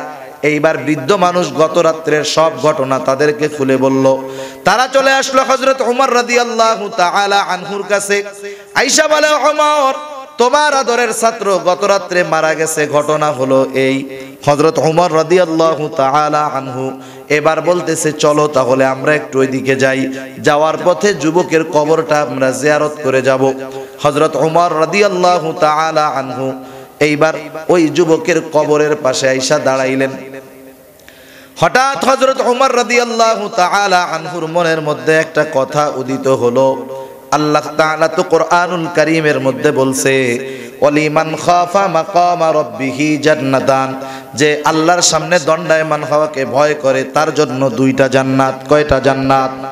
জোরে বলেন, কয়টা জান্নাত? এই জান্নাতের সুসংবাদ সে তো দুনিয়ায় পায়ে যাওয়ার কথা। হযরত উমর রাদিয়াল্লাহু তাআলা আনহুর মনের মধ্যে একটু জানার আগ্রহ হইছে, সবাই একদিকে দাঁড়ায়া হজরত ওমর রদি আল্লাহ আনহু যুবকের কবরের কাছে আসছে, মাথার পাশে দাঁড়ায়, এবার কবরের বাসিন্দাকে ডাক দিয়ে জিজ্ঞাসা করে, এ কবরের বাসিন্দা যুবক, আল্লাহ তো বলছে, ওয়ালিমান খাফা মাকামা রাব্বিহি জান্নাতান। আল্লাহর সামনে দণ্ডায়মান হওয়াকে যারা ভয় করে তাদের জন্য দুইটা জান্নাত। এখন আমার প্রশ্ন তোমার কাছে, তুমি কি সেই দুইটা জান্নাতের সংবাদ পাইছো নাকি? মানুষ আছে কবরে, এটা লাশ হয়ে গেছে, মরে গেছে। এর কাছে জিজ্ঞাসা করে, তুমি জান্নাতের সুসংবাদ পাইছো নাকি? একদল চিন্তা করে হজরত ওমর মনে হয় ছেলেটারে বেশি মহব্বত করে এই জন্য মনে হয় অতি আবেগে এরকম কিছু জিজ্ঞাসা করতেছে। দেখেন না, এরকম অনেক সময় ছোট বাচ্চা, ওর মা মরে গেছে, কবরে রাখছে, কবরের কাছে গিয়া গিয়া জিজ্ঞাসা করে ওমা তুমি ওঠো না কেন? আমার একা রাইখা গেল, গেলা কেন? এটা ভালোবাসার আবেগ থেকে করে, ঠিক কিনা বলেন? এখন তো হজরত উমর রাদিয়াল্লাহু তাআলা আনহু হয়তো এই কারণে যুবকের কবরের মাথার কাছে দাঁড়ায় জিজ্ঞাসা করতেছে। আবার কেউ কেউ চিন্তা করে, না না, এ তো সে অমর নয়, যেই অমর মসজিদের মেম্বার থেকে সেনাপতিকে নির্দেশনা দেয়।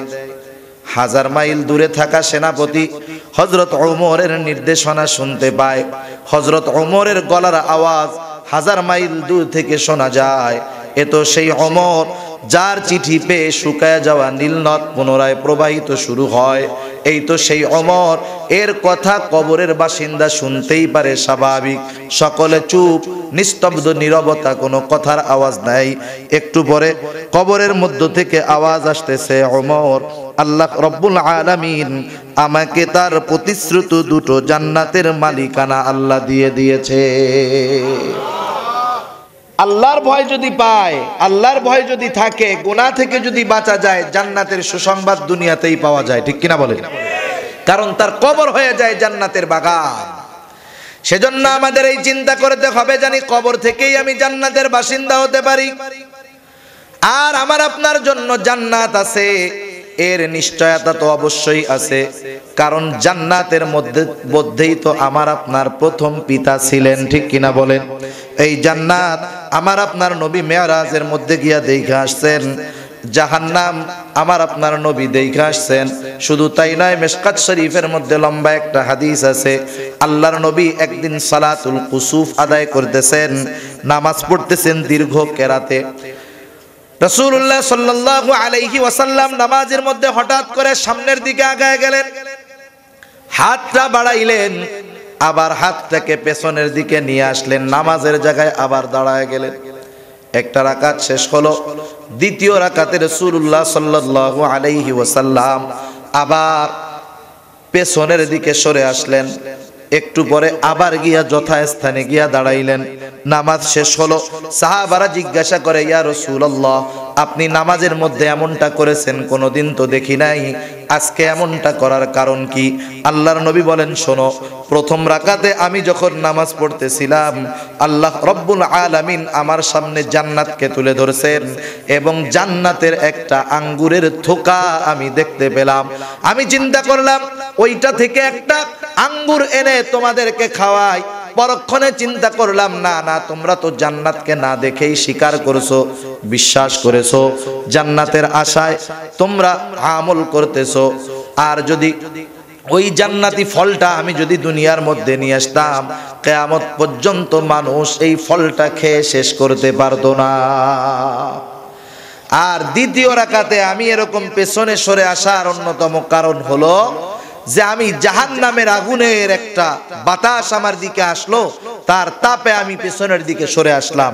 আমার আপনার নবীকে শুধু যে আল্লাহ তাআলা মেরাজে জান্নাত জাহান্নাম দেখাইছেন তা না, নামাজের মধ্যেও দুনিয়ার মধ্যে থাকা অবস্থায় আমার আপনার নবীকে আল্লাহ তাআলা জান্নাত এবং জাহান্নাম দেখাইছেন, ঠিক কিনা বলেন?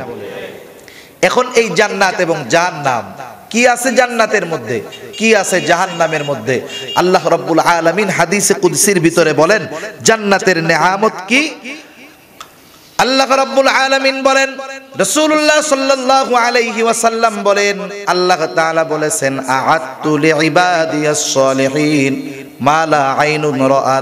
ওয়ালা উদুনুং সামিআত, ওয়ালা খতরা আলা কলবি আমি আমার সালেহ নেককার বান্দাদের জন্য এমন জান্নাত তৈরি করে রেখেছি মালা আইনুন রাআত, যা কোনোদিন দুনিয়ার কোনো চোখ দেখে নাই। ওয়ালা উদুনুং সামিআত, তার প্রকৃত সংবাদ দুনিয়ার কোনো কান শুনে নাই। ওলা খতর আলা কলবি যেই জান্নাতের নেয়ামতের প্রকৃত অনুভব দুনিয়ার কোনো মানুষের অন্তর করতে পারে নাই। জান্নাত, ওর মধ্যে যেই নেয়ামতগুলা আছে, ওই নেয়ামতগুলা যেই ফলগুলা, এটা দুনিয়ার সাদৃশ্য ফল জান্নাতীদেরকে যখন জান্নাতি ফল খেতে দেওয়া হবে, আরে এরা বলবে, হায় রে, এগুলো তো আমরা দুনিয়ায় দেখছি, অনুরূপ ফল খাইছি। কিন্তু যদিও দেখতে একই রকম হবে সাইজ কিন্তু এক না, অনেক বড় হবে। রসুল্লাহ সাল আলাইহি ওয়াসাল্লাম বলেন, সিদ্রাতুল মুনতাহা, সীমান্তের শেষের বড়ই গাছ। জান্নাতের বড়ই। এটা এক একটা হাজারের মটকার মতো, অনেক বড় সাইজের কোলার মতো এক একটা বড়ই। যদি আর বড়ের মতো দেখা যায়, কিন্তু দুনিয়ার বড়ের সাইজের বড়ই না, অনেক বড়। দুনিয়ার বড়ের স্বাদ একরকম, ওই জান্নাতি বড়ের স্বাদ আর রকম হাদিসের মধ্যে আসছে যে জান্নাতি ফলগুলার স্বাদ হবে এক এক রকম। এক এক থোকায় থাকবে এক এক রকম। আবার তফসিরের কোন কিতাবের মধ্যে আসছে এক ফল। এক কামড় দিবে এক স্বাদ আর এক কামড় দিবে আর এক স্বাদ। সুহান আল্লাহ এরকম নেহামত জান্নাতের মধ্যে রাখছে। আল্লাহ তাআলা জান্নাতের মধ্যে হুর রাইখা দিছেন।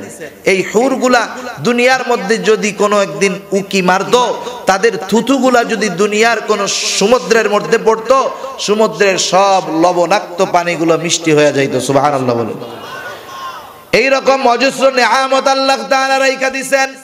আল্লাহ রাব্বুল আলামিন বলেন ফিহা আনহারুম মিন মাইন গায়রি আসিন وأنهار من لبن لم يتغير طعمه وأنهار من خمر لذة للشاربين وأنهار من عسل مصفى আল্লাহ তালা বলেন, ফিহা আনহার মিম্মা ইন গৈরে আসেন আল্লাহ তালা ওইখানে স্বাদ অপরিবর্তিত সুপেয় সুমিষ্ট পানির নগর রাখছেন।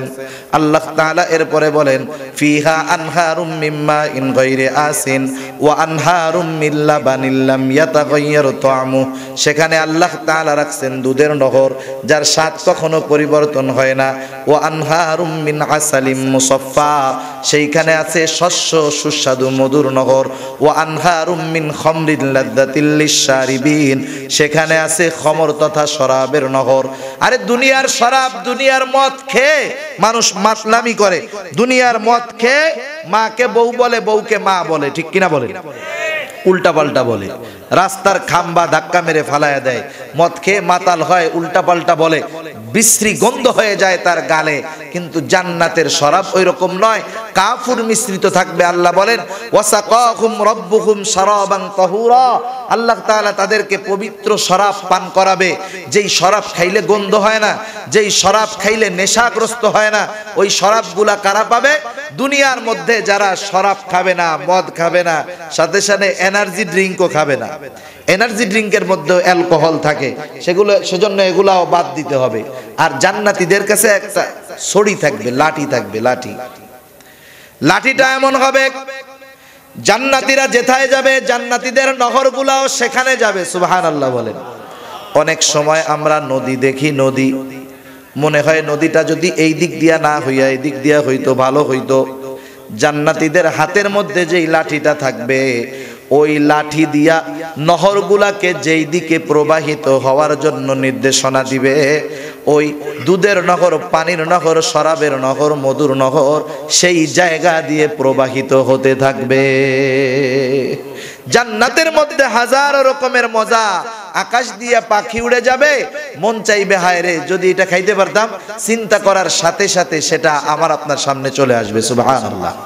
জান্নাতি খাবার কত স্বাদ, হরেক রকমের খাবার খেয়ে তো পেট ভরে যাবে। কিন্তু জান্নাতের মধ্যে কোনো পায়খানা প্রস্রাব হবে না। ডেকুরের সাথে খাবার হজম হয়ে যাবে। দুনিয়ার নিয়মটা কি? আপনি যদি সকালবেলা আলু ভর্তার ডাল দিয়ে খান, স্বাভাবিক খাবার। এই খাবারটা যদি ইনডাইজেস্ট হয় বদ হজম হয়, এটা যদি পেটে গ্যাস ফার্ম করে আপনার গ্যাস যদি মুখ দিয়ে কোনো ধুমাডেক বের হয়, এর গন্ধের মধ্যে তেমন পাওয়ার নাই, ঠিক কিনা বলেন? কিন্তু আপনি এক বিয়ায় গিয়ে সব খাইছেন, মুরগি, গরু, খাসি, ছাগল ফাটা সব, জব্বর খাওয়া খাইছেন, এখন বদ হজম শুরু হয়ে গেছে। আপনি এক একটা ঢেকুর ছাড়লে দশ হাত দূরে মানুষ অজ্ঞান হয়ে যেতে পারে, ঠিক কিনা বলেন? সেই দিন এক অনলাইন খবরে দেখলাম যে এক এসি বাসের মধ্যে একজনে বায়ু ছাড়ছে, বায়ু ছাড়া বুঝেন তো? পাত দিছে আর কি। পাত দিছে পনেরো ষোলো জন অসুস্থ হয়ে গেছে। কারণ হলো, এসি বাসের মধ্যে যেই বাতাসটা, ওই বাতাসটাই বারবার রিফাইন করে করে ভিতরে ঠান্ডা করে পাঠানো হয়। গন্ধ দূর করবে কেমনে? এখন ওই গন্ধে পনেরো ষোলো জন বিআরটিসি বাসের মধ্যে অসুস্থ হয়ে গেছে। তাহলে চিন্তা করছেন যে খাবারের গন্ধ কিন্তু মূলত ওইটা। অবস্থা কি? জান্নাতে ওইরকম হবে না? পেট ভরে যাবে, মানুষ ঢেকুর ছাড়বে। তার ওই ঢেকুরের গন্ধ মেশকো আম্বরের চাইতে বেশি সুগ্রাণময় হবে, সুবহানাল্লাহ। জান্নাতের মধ্যে অজস্র নেহামত মুমিনেরা নিতে থাকবে। একটা সময় সর্বশেষ অবস্থা যখন জান্নাতি আর জাহান্নামি দুই ভাগে বিভক্ত হয়ে যাবে, তার মানে আর কোনো ব্যক্তি জাহান্নামি থাকবে না। সর্বশেষ মানুষরা যখন সুপারিশ করবে, নবীরা করবে, ফিরিস্তারা করবে, দুই কাঁধের দুই ফিরিস্তা কিরামান কাতেবিন করবে। আল্লাহ রাব্বুল আলামিন সবাইকে বলবে, তোমরা সুপারিশ করো, সবাই সুপারিশ করবে। যদি কোনো ব্যক্তি এমনও থাকে, অন্তরের গহীন কোণে যারা পরিমাণ ইমানও থাকে, আল্লাহ তাআলা শাস্তি দেওয়ার পরে একটা সময় তাকে জাহান্নাম থেকে জান্নাতের মধ্যে নিয়ে আসবে। সবাই বলবে, আল্লাহ এখন এমন কোন ব্যক্তি আর জাহান্নামের মধ্যে নাই, যার অন্তরের গহীন কোণে ক্ষুদ্র পরিমাণ হলেও ইমান ছিল। দেখেন, কেরামান কাতেবিনকে আল্লাহ তাআলা কতটুক ক্ষমতা দিয়েছে। হাদিসের মধ্যে আসছে, কোন ব্যক্তি যখন ভালো কাজের নিয়ত করে, তার আমল নামায় ভালো কাজের নিয়ত করার কারণে একটা নেকি লেখা হয়, ঠিক কিনা বলেন? এখন নিয়ত এটা কি মুখে করে না অন্তরে করে? জোরে বলেন। অন্তরে করে, এতটুকু বোঝার ক্ষমতা আল্লাহ কেরামান কাতেবিনরে দিছেন। এই জন্য কেরামান কাতেবিন ভালো নিয়ত বুঝতে পারলে একটা নেকি লেখে, ঠিক কিনা? এই কেরামান কাতেবিন সুপারিশ করবে, বলবে, আল্লাহ এমন কোন মানুষ জান্নাতের জাহান্নামের মধ্যে নাই, যেই মানুষগুলা ইমান আনার জন্য চেষ্টা করে সবার সুপারিশ শেষ। এইবার আল্লাহ রব্বুল আলামিন জাহান্নামের মধ্যে নিজের কুদরতি হাত ঢুকায়া দিবেন। একদল মানুষকে আল্লাহ তাআলা জাহান্নাম থেকে উঠায়া আনবে। ওই দলের নাম হলো উতাকাউর রহমান। ওরা হলো আল্লাহ রব্বুল আলমিনের বিশেষ অনুগ্রহ প্রাপ্ত দল। তাদের ইমানটা এত গোপনীয় ছিল যে এই দুই কাজের ফিরিস্তা কেরামান কাতেবিন পর্যন্ত টের পায় নাই। এত সূক্ষ্ম ছিল তাদের ইমান সেই দিন আল্লাহ তার পরিপূর্ণ আলিমুল গায়েব যে আল্লাহ, এর পরিপূর্ণ প্রমাণ আল্লাহ তাআলা দিবেন যে কিরামান কাতিবিন টের পায় নাই যে এই লোকটা ইমান আনছে। অথচ তার ইমানের ব্যাপারে একমাত্র খবর রাখছেন কে? এখন ওই গ্রুপও চলে আসছে জান্নাতে। তার মানে এখন যারা জাহান্নামে আছে, এরা সব জাহান্নামী। আল্লাহ রাব্বুল আলামিন একদিন জুমার দিন, শুক্রবার জুমার দিন জান্নাতীদেরকে রূপের হাটে সব জান্নাতীদেরকে আমন্ত্রণ জানা হবে, জানানো হবে। জান্নাতীদের জন্য চেয়ার থাকবে, জান্নাতীরা চেয়ার নিবে, জান্নাতের মধ্যে জান্নাতি পুরুষেরা কানে দুল পরবে, হাতে বালা পরবে। কিন্তু দুনিয়ার মধ্যে পুরুষদের জন্য এগুলা ব্যবহার করার অনুমতি নাই, স্বর্ণ ব্যবহার করার অনুমতি নাই। একটা জিনিস আমাকে আপনাকে মনে রাখতে হবে, শরীয়তে আল্লাহর যেই নিষেধগুলা আছে, আদেশগুলা আছে, এই আদেশ নিষেধের মধ্যে শুধু যে পরকালের উপকার আছে এমনটা নয় আল্লাহর আদেশ নিষেধের মধ্যে পরকালের সাথে সাথে দুনিয়াবি কল্যাণও আল্লাহ তাআলা রেখে দিয়েছে। চিকিৎসা বিজ্ঞান বলে, যেই পুরুষেরা স্বর্ণ ব্যবহার করে, চেন ব্যবহার করে, এরা একটা সময় এদের যৌন শক্তি কমে যায়। আর যেই নারীরা এগুলা ব্যবহার করে, এদের শারীরিক অনেক উপকার হয়, এরা সুস্থ থাকে। সেজন্য অলংকার যে শুধু সৌন্দর্যের জন্য আল্লাহ দিছেন তা না, এর সাথে শারীরিক উপকার, অপকারও আল্লাহ তাআলা রাখছেন। সেজন্য যারা ব্যবহার করেন, অনেকে শখে আংটি পরেন স্বর্ণের, শখে চেন লাগান, এগুলা পুরুষের জন্য ব্যবহার করা হারাম, এগুলা করা যাবে না। অনেক পুরুষ শখ কইরা কান ছিদ্র করে, আছে না নাই? কোন পুরুষ এই কাজগুলা করবে না, এগুলা পুরুষের জন্য বৈধ না, এগুলা নারীর জন্য তারা করবে, পুরুষ করবে না। জান্নাতে গিয়া করবে, যত খুশি মন চায়।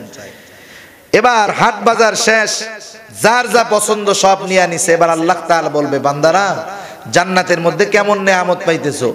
ওরা বলবে, আল্লাহ মানে আমরা যদি জান্নাতে আল্লাহ তাআলা নেন, আশা করি আল্লাহ তাআলা আমরা এখানে যারা আছেন, সবাইকে আল্লাহ জান্নাতে নিবেন। বলে না আমিন। আমরা এই আশা রাখি। কারণ কি? কারণ বান্দা আল্লাহর প্রতি যেমন ধারণা রাখে, আল্লাহ তাআলা সেই বান্দার প্রতি তেমন ব্যবহার করে। আল্লাহ রাব্বুল আলামিন জান্নাতীদেরকে তাদের নেয়ামতের ব্যাপারে জিজ্ঞাসা করবে। জান্নাতীরা বলবে, আল্লাহ, এমন নেয়ামত পাইতেছি যা কোনোদিন কল্পনাও করি নাই। এর চাইতে ভালো কিছু হতে পারে, এটা আমাদের মনেই হয় না। আল্লাহ তাআলা বলবেন, না বান্দা, এর চাইতেও আরও উত্তম নেয়ামত তোমাদের জন্য আছে। বলেন তো যখন এই খবরটা জান্নাতীরা শুনবে যে আমরা যেই নেয়ামতগুলা পাইতেছি, এর চাইতে ভালো নেয়ামত বলে আরও আছে, এটা কি হতে পারে? জান্নাতীদের মধ্যে একটা সরগোল লাইগে যাবে, হারে আমাদের এর চাইতে ভালো নেয়ামত, দামি নেহামত আর কি হতে পারে? ইতিমধ্যে আল্লাহর পক্ষ থেকে আওয়াজ আসবে আমার বান্দারা, তোমরা সবাই উপরের দিকে তাকাও। জান্নাতীরা এবার উপরের দিকে তাকাবে। আল্লাহ রাব্বুল আলামিন জান্নাতীদের মাঝে আর আল্লাহর মাঝে যেই পর্দা ছিল, আল্লাহ তাআলা পর্দাটা সরায়া দিবে। এইবার জান্নাতি বান্দারা স্পষ্টভাবে আল্লাহকে দেখতে পাবে। রসুল্লাহ সাল্লাল্লাহু আলাইহি ওয়াসাল্লাম সাহাবারা জিজ্ঞাসা করে, ইয়া রাসূলুল্লাহ, জান্নাতের মধ্যে আমরা আল্লাহ তাআলাকে দেখতে পাবো? বলে হ্যাঁ বাবা। কেমনে পাবো? আল্লাহর নবী বোঝানোর জন্য বলছেন, শোনো, পরিষ্কার আকাশে, খোলা ময়দানে, পূর্ণিমার চাঁদ যত স্পষ্ট দেখা যায়, এর চাইতে স্পষ্ট ভাবে তোমরা আল্লাহকে দেখতে পাবে। জান্নাতিরা এবার আল্লাহরে দেখবে, দেখে তাকায় থাকবে। এক নজরে পলক পড়বে না। আপনি যত ভালো জিনিস হোক, যত দামি জিনিস হোক, এক দৃষ্টিতে দীর্ঘ সময় তাকায় থাকলে চোখ ক্লান্ত হয়ে যাবে। চোখ দিয়ে পানি আসবে, চোখের পাপড়িগুলা, পাতাগুলা ব্যথা হয়ে যাবে, ঠিক কিনা বলেন? জান্নাতিরা তাকায় থাকবে এক নজরে। এইবার জান্নাতীদের স্ত্রীরা আল্লাহর কাছে বলবে, আল্লাহ, আমাদের স্বামীদেরকে আপনি ছেড়ে দেন। আল্লাহ তাআলা তাদের দোয়া কবুল করবে। আবার জান্নাতিদের মাঝে, যেই পর্দা আল্লাহর মাঝে, সেটাকে আল্লাহ দিয়ে দিবে।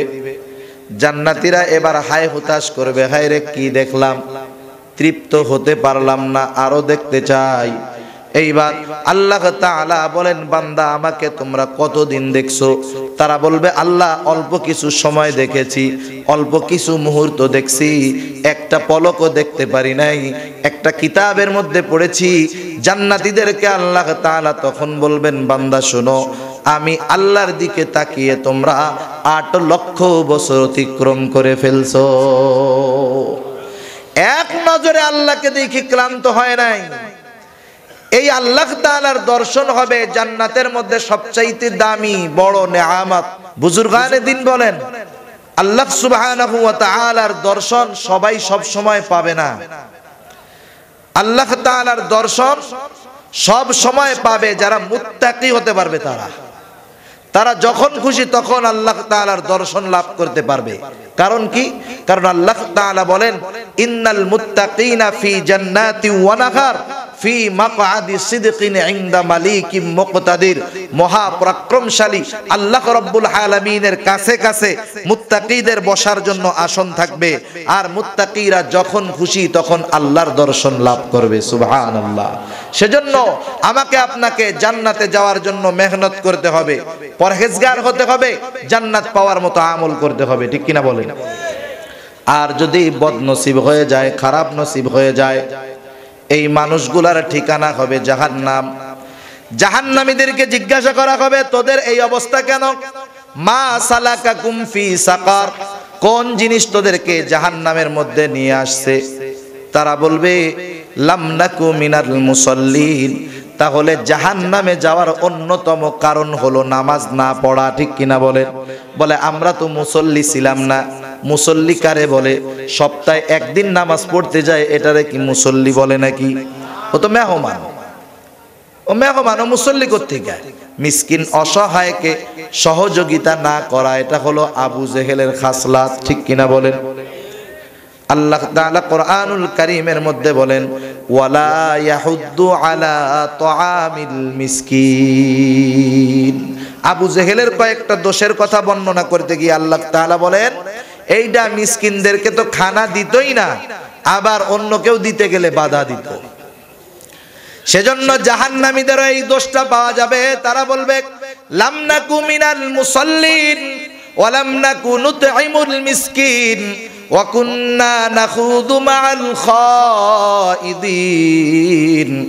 আমরা বাজে আড্ডার মধ্যে বৈশা সময়কে অতিবাহিত করতাম। আসেনি বাজে আড্ডা সব জায়গায়।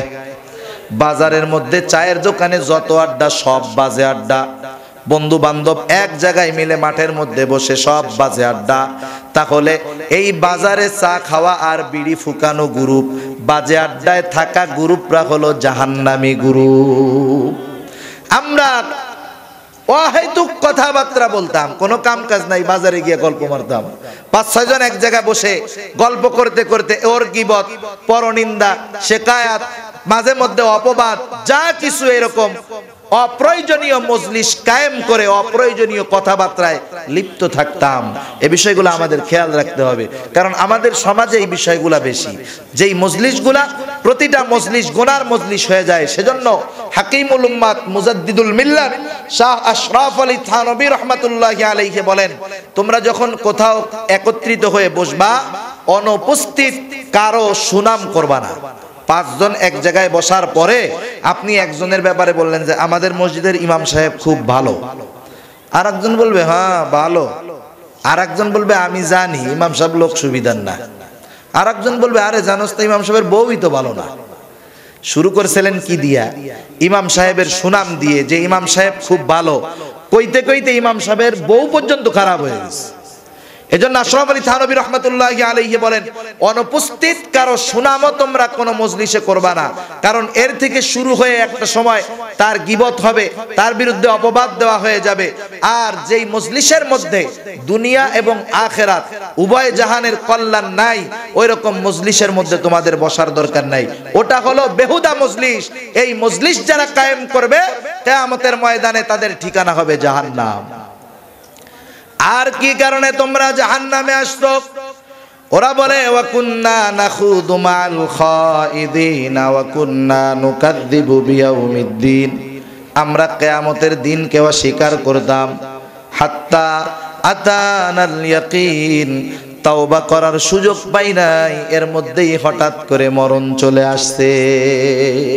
সেজন্য আমি আপনি যদি চিন্তা করি যে আমি আজকে কালকে তওবা করব, পরের দিন ভালো হয়ে যাব, বলা যায় না কোন সময় মৃত্যু চলে আসে, ঠিক কিনা বলেন? জাহান্নামীদেরকে সেই জন্য প্রশ্নগুলা করা হবে। আল্লাহ রাব্বুল আলামিন কোরআনুল কারীমের মধ্যে বলেন, ইয়া আইয়ুহাল্লাযীনা আমানু কু আনফুসাকুম ওয়া আহলিকুম নারা ওয়াকুদুহান নাস ওয়াল হিজারা এই আয়াতের মাধ্যমে জানা যায়, জাহান্নামের যেই ইন্ধন হবে সেটা হলো মানুষ এবং পাথর। তফসির ইবনে কাসিরের মধ্যে আসছে, যেই পাথর এটা সাধারণ পাথর নয়, এটাকে বলা হয় গন্ধক পাথর। গন্ধক পাথর যদি আগুনের মধ্যে দেওয়া হয়, আগুনের তেজ আরও বেড়ে যায়। এই আগুনের ভিতরে গন্ধক পাথর থাকবে, মানুষ এই জাহান নামের ইন্ধন হবে। আর এক জায়গায় আল্লাহ রব্বুল আলামিন বলেন ওয়ালা কদ মিনাল জিন্নি ইনস। বড় একটা বিপুল সংখ্যক মানুষ এবং জিনের জন্য আল্লাহ তাআলা জাহান্নামকে তৈরি করে রাখছেন। শুধু তাই নয়, এই জাহান্নাম দুনিয়ার জেলখানা যেমন দারোয়ান থাকে, জাহান্নামের মধ্যেও দারোয়ান আছে। আলাইহা মা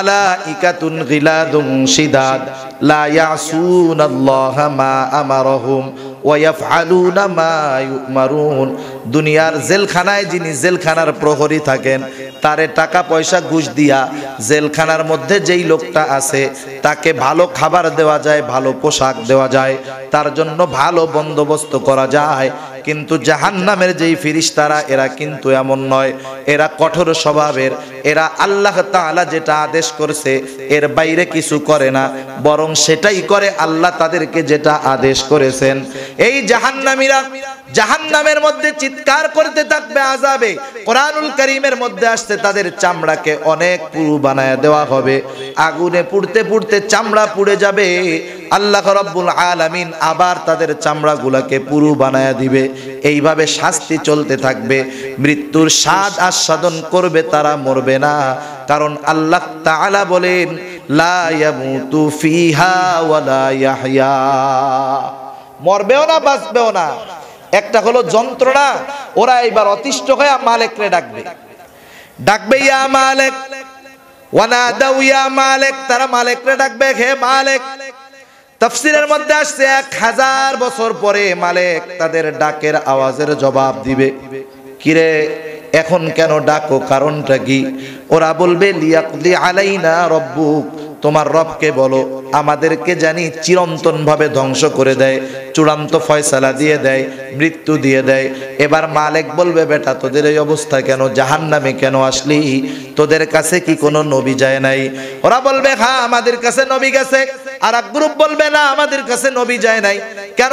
তোদের নবী কি তোদেরকে জাহান নামের কথা বলে নাই, জান্নাতের কথা বলে নাই?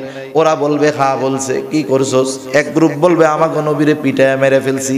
করাত দিয়ে হত্যা করে ফেলছি, চিরে ফেলেছি, আমরা নবীদেরকে মানি নাই। এইবার আরেক গ্রুপ বলবে, তোমাদের কাছে নবী যায় নাই, ঠিক আছে। তোমাদের কাছে কি নবীর ওয়ারিসরা যায় নাই? নবীর কথাগুলা কি তোমাদের কাছে পৌঁছায়া দেয় নাই? ওরা বলবে, হা, দিয়েছে।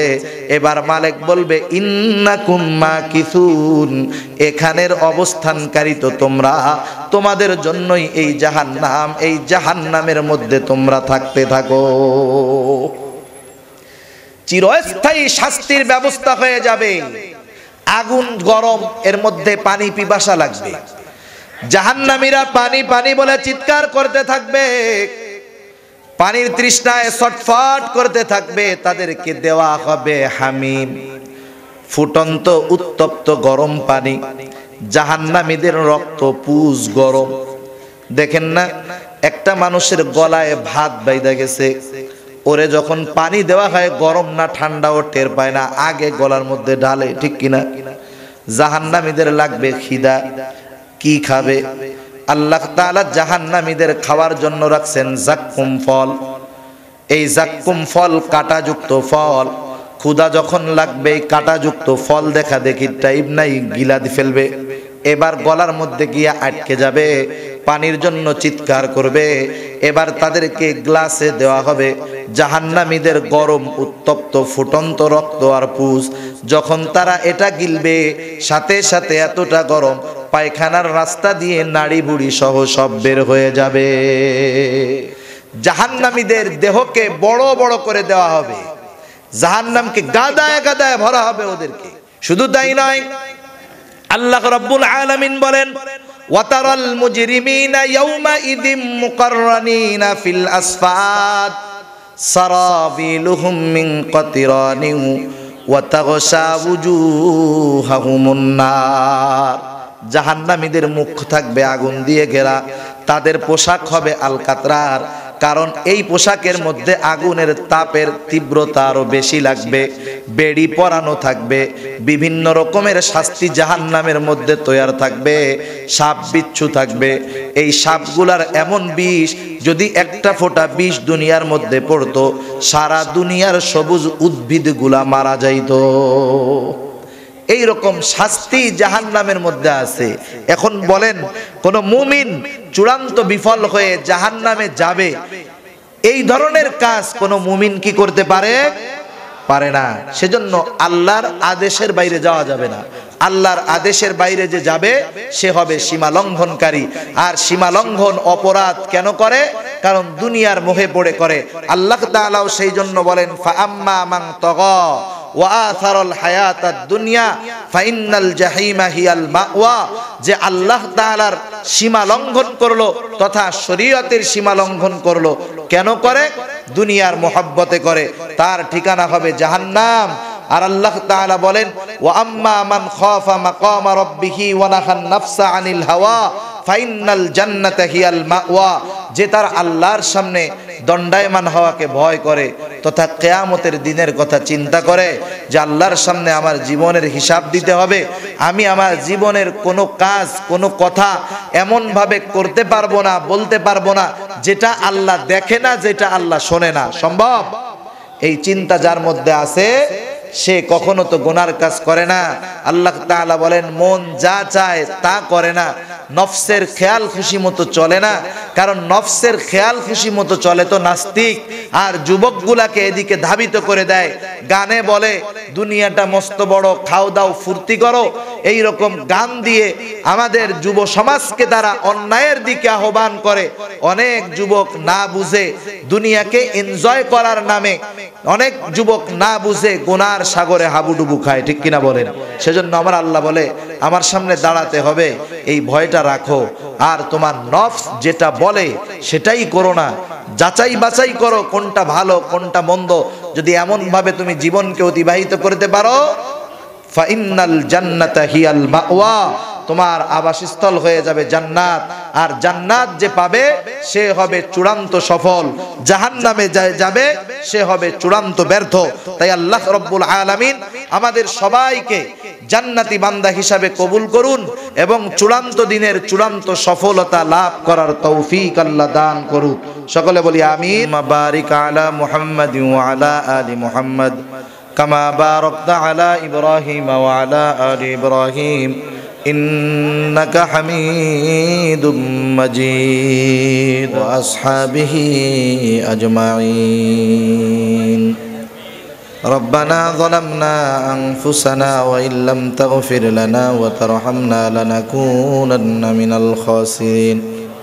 ربنا آتنا في الدنيا حسنة وفي الآخرة حسنة وقنا عذاب النار.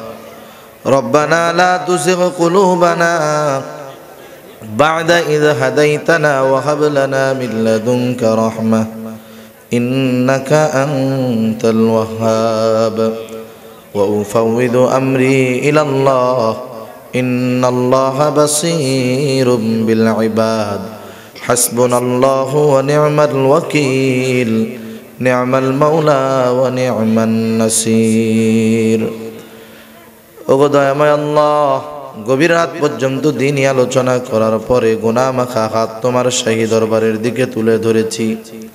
আয় আল্লাহ, রাত্র যত গভীর হয়, দুনিয়ার মানুষের দরজাগুলা বন্ধ হয়ে যায়। আর রাত্র যত গভীর হয়, তোমার রহমতের দরজা তত উন্মোচিত হয়। আয় আল্লাহ, অনেক আশা নিয়ে আল্লাহ গোনা মাখা হাতগুলা তোমার দরবারের দিকে তুলে ধরেছি আল্লাহ। তুমি তো বলছো, সাবাকাত রহমাতি আলা গজবি।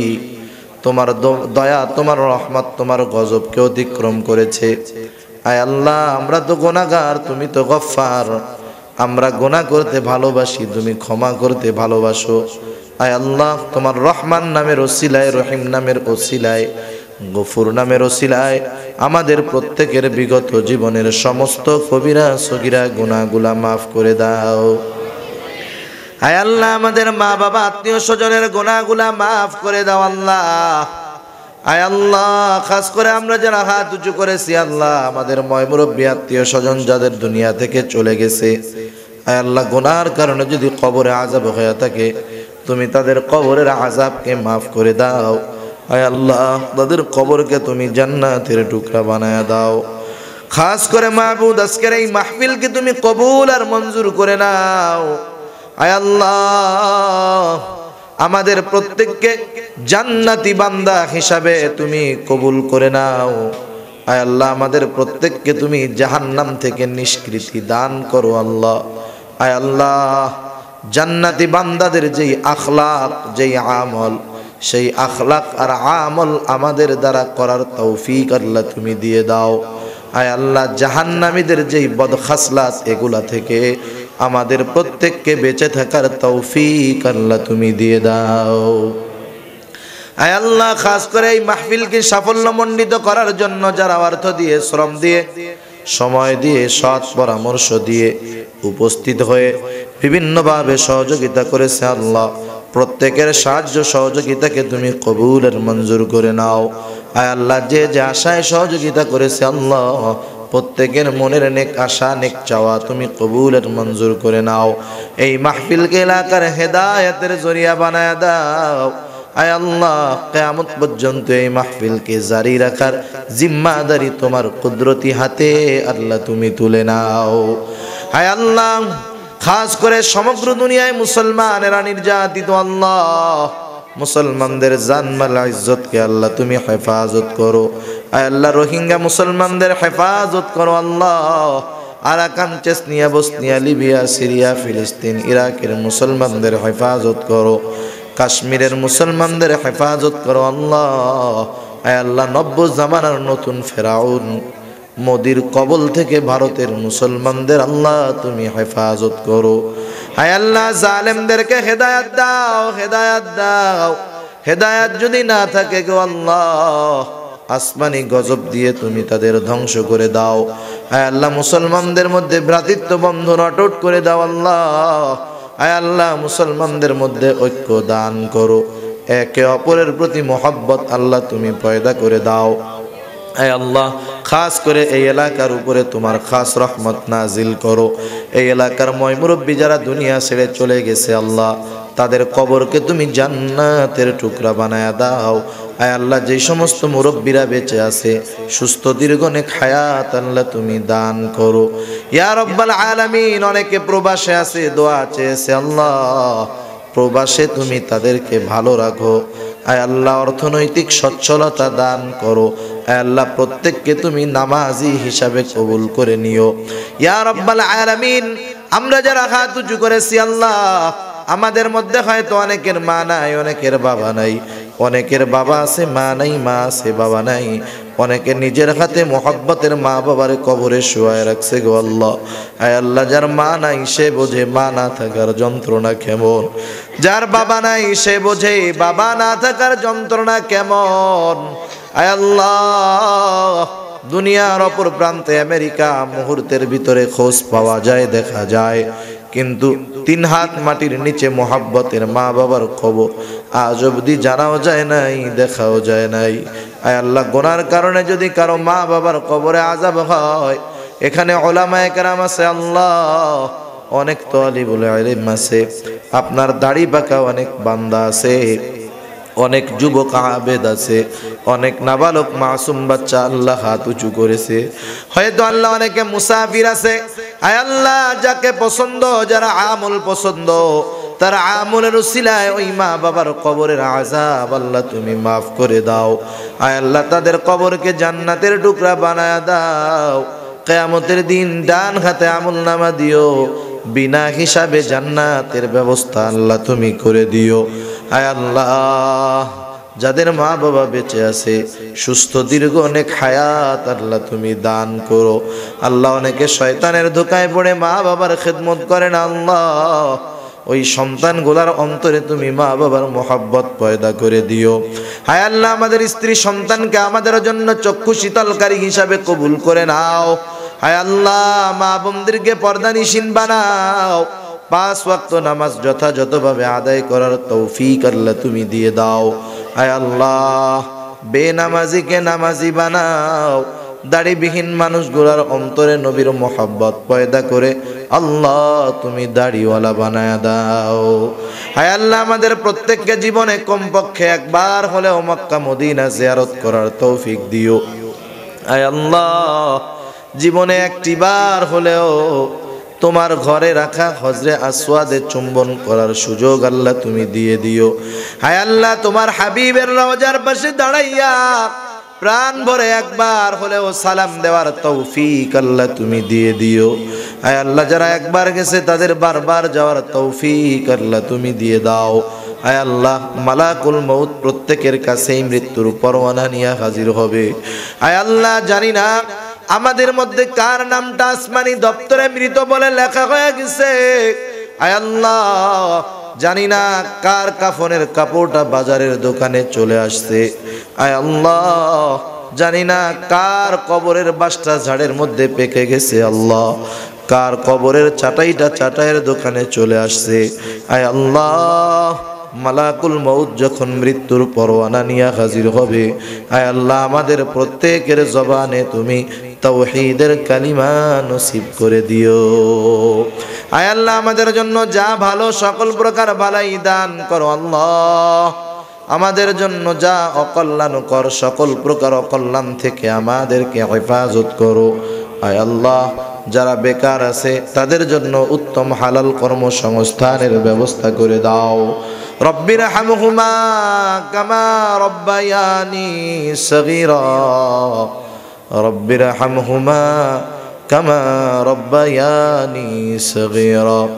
وصلى الله تعالى على خير خلقه محمد وعلى آله وأصحابه أجمعين. آمين برحمتك يا أرحم الراحمين.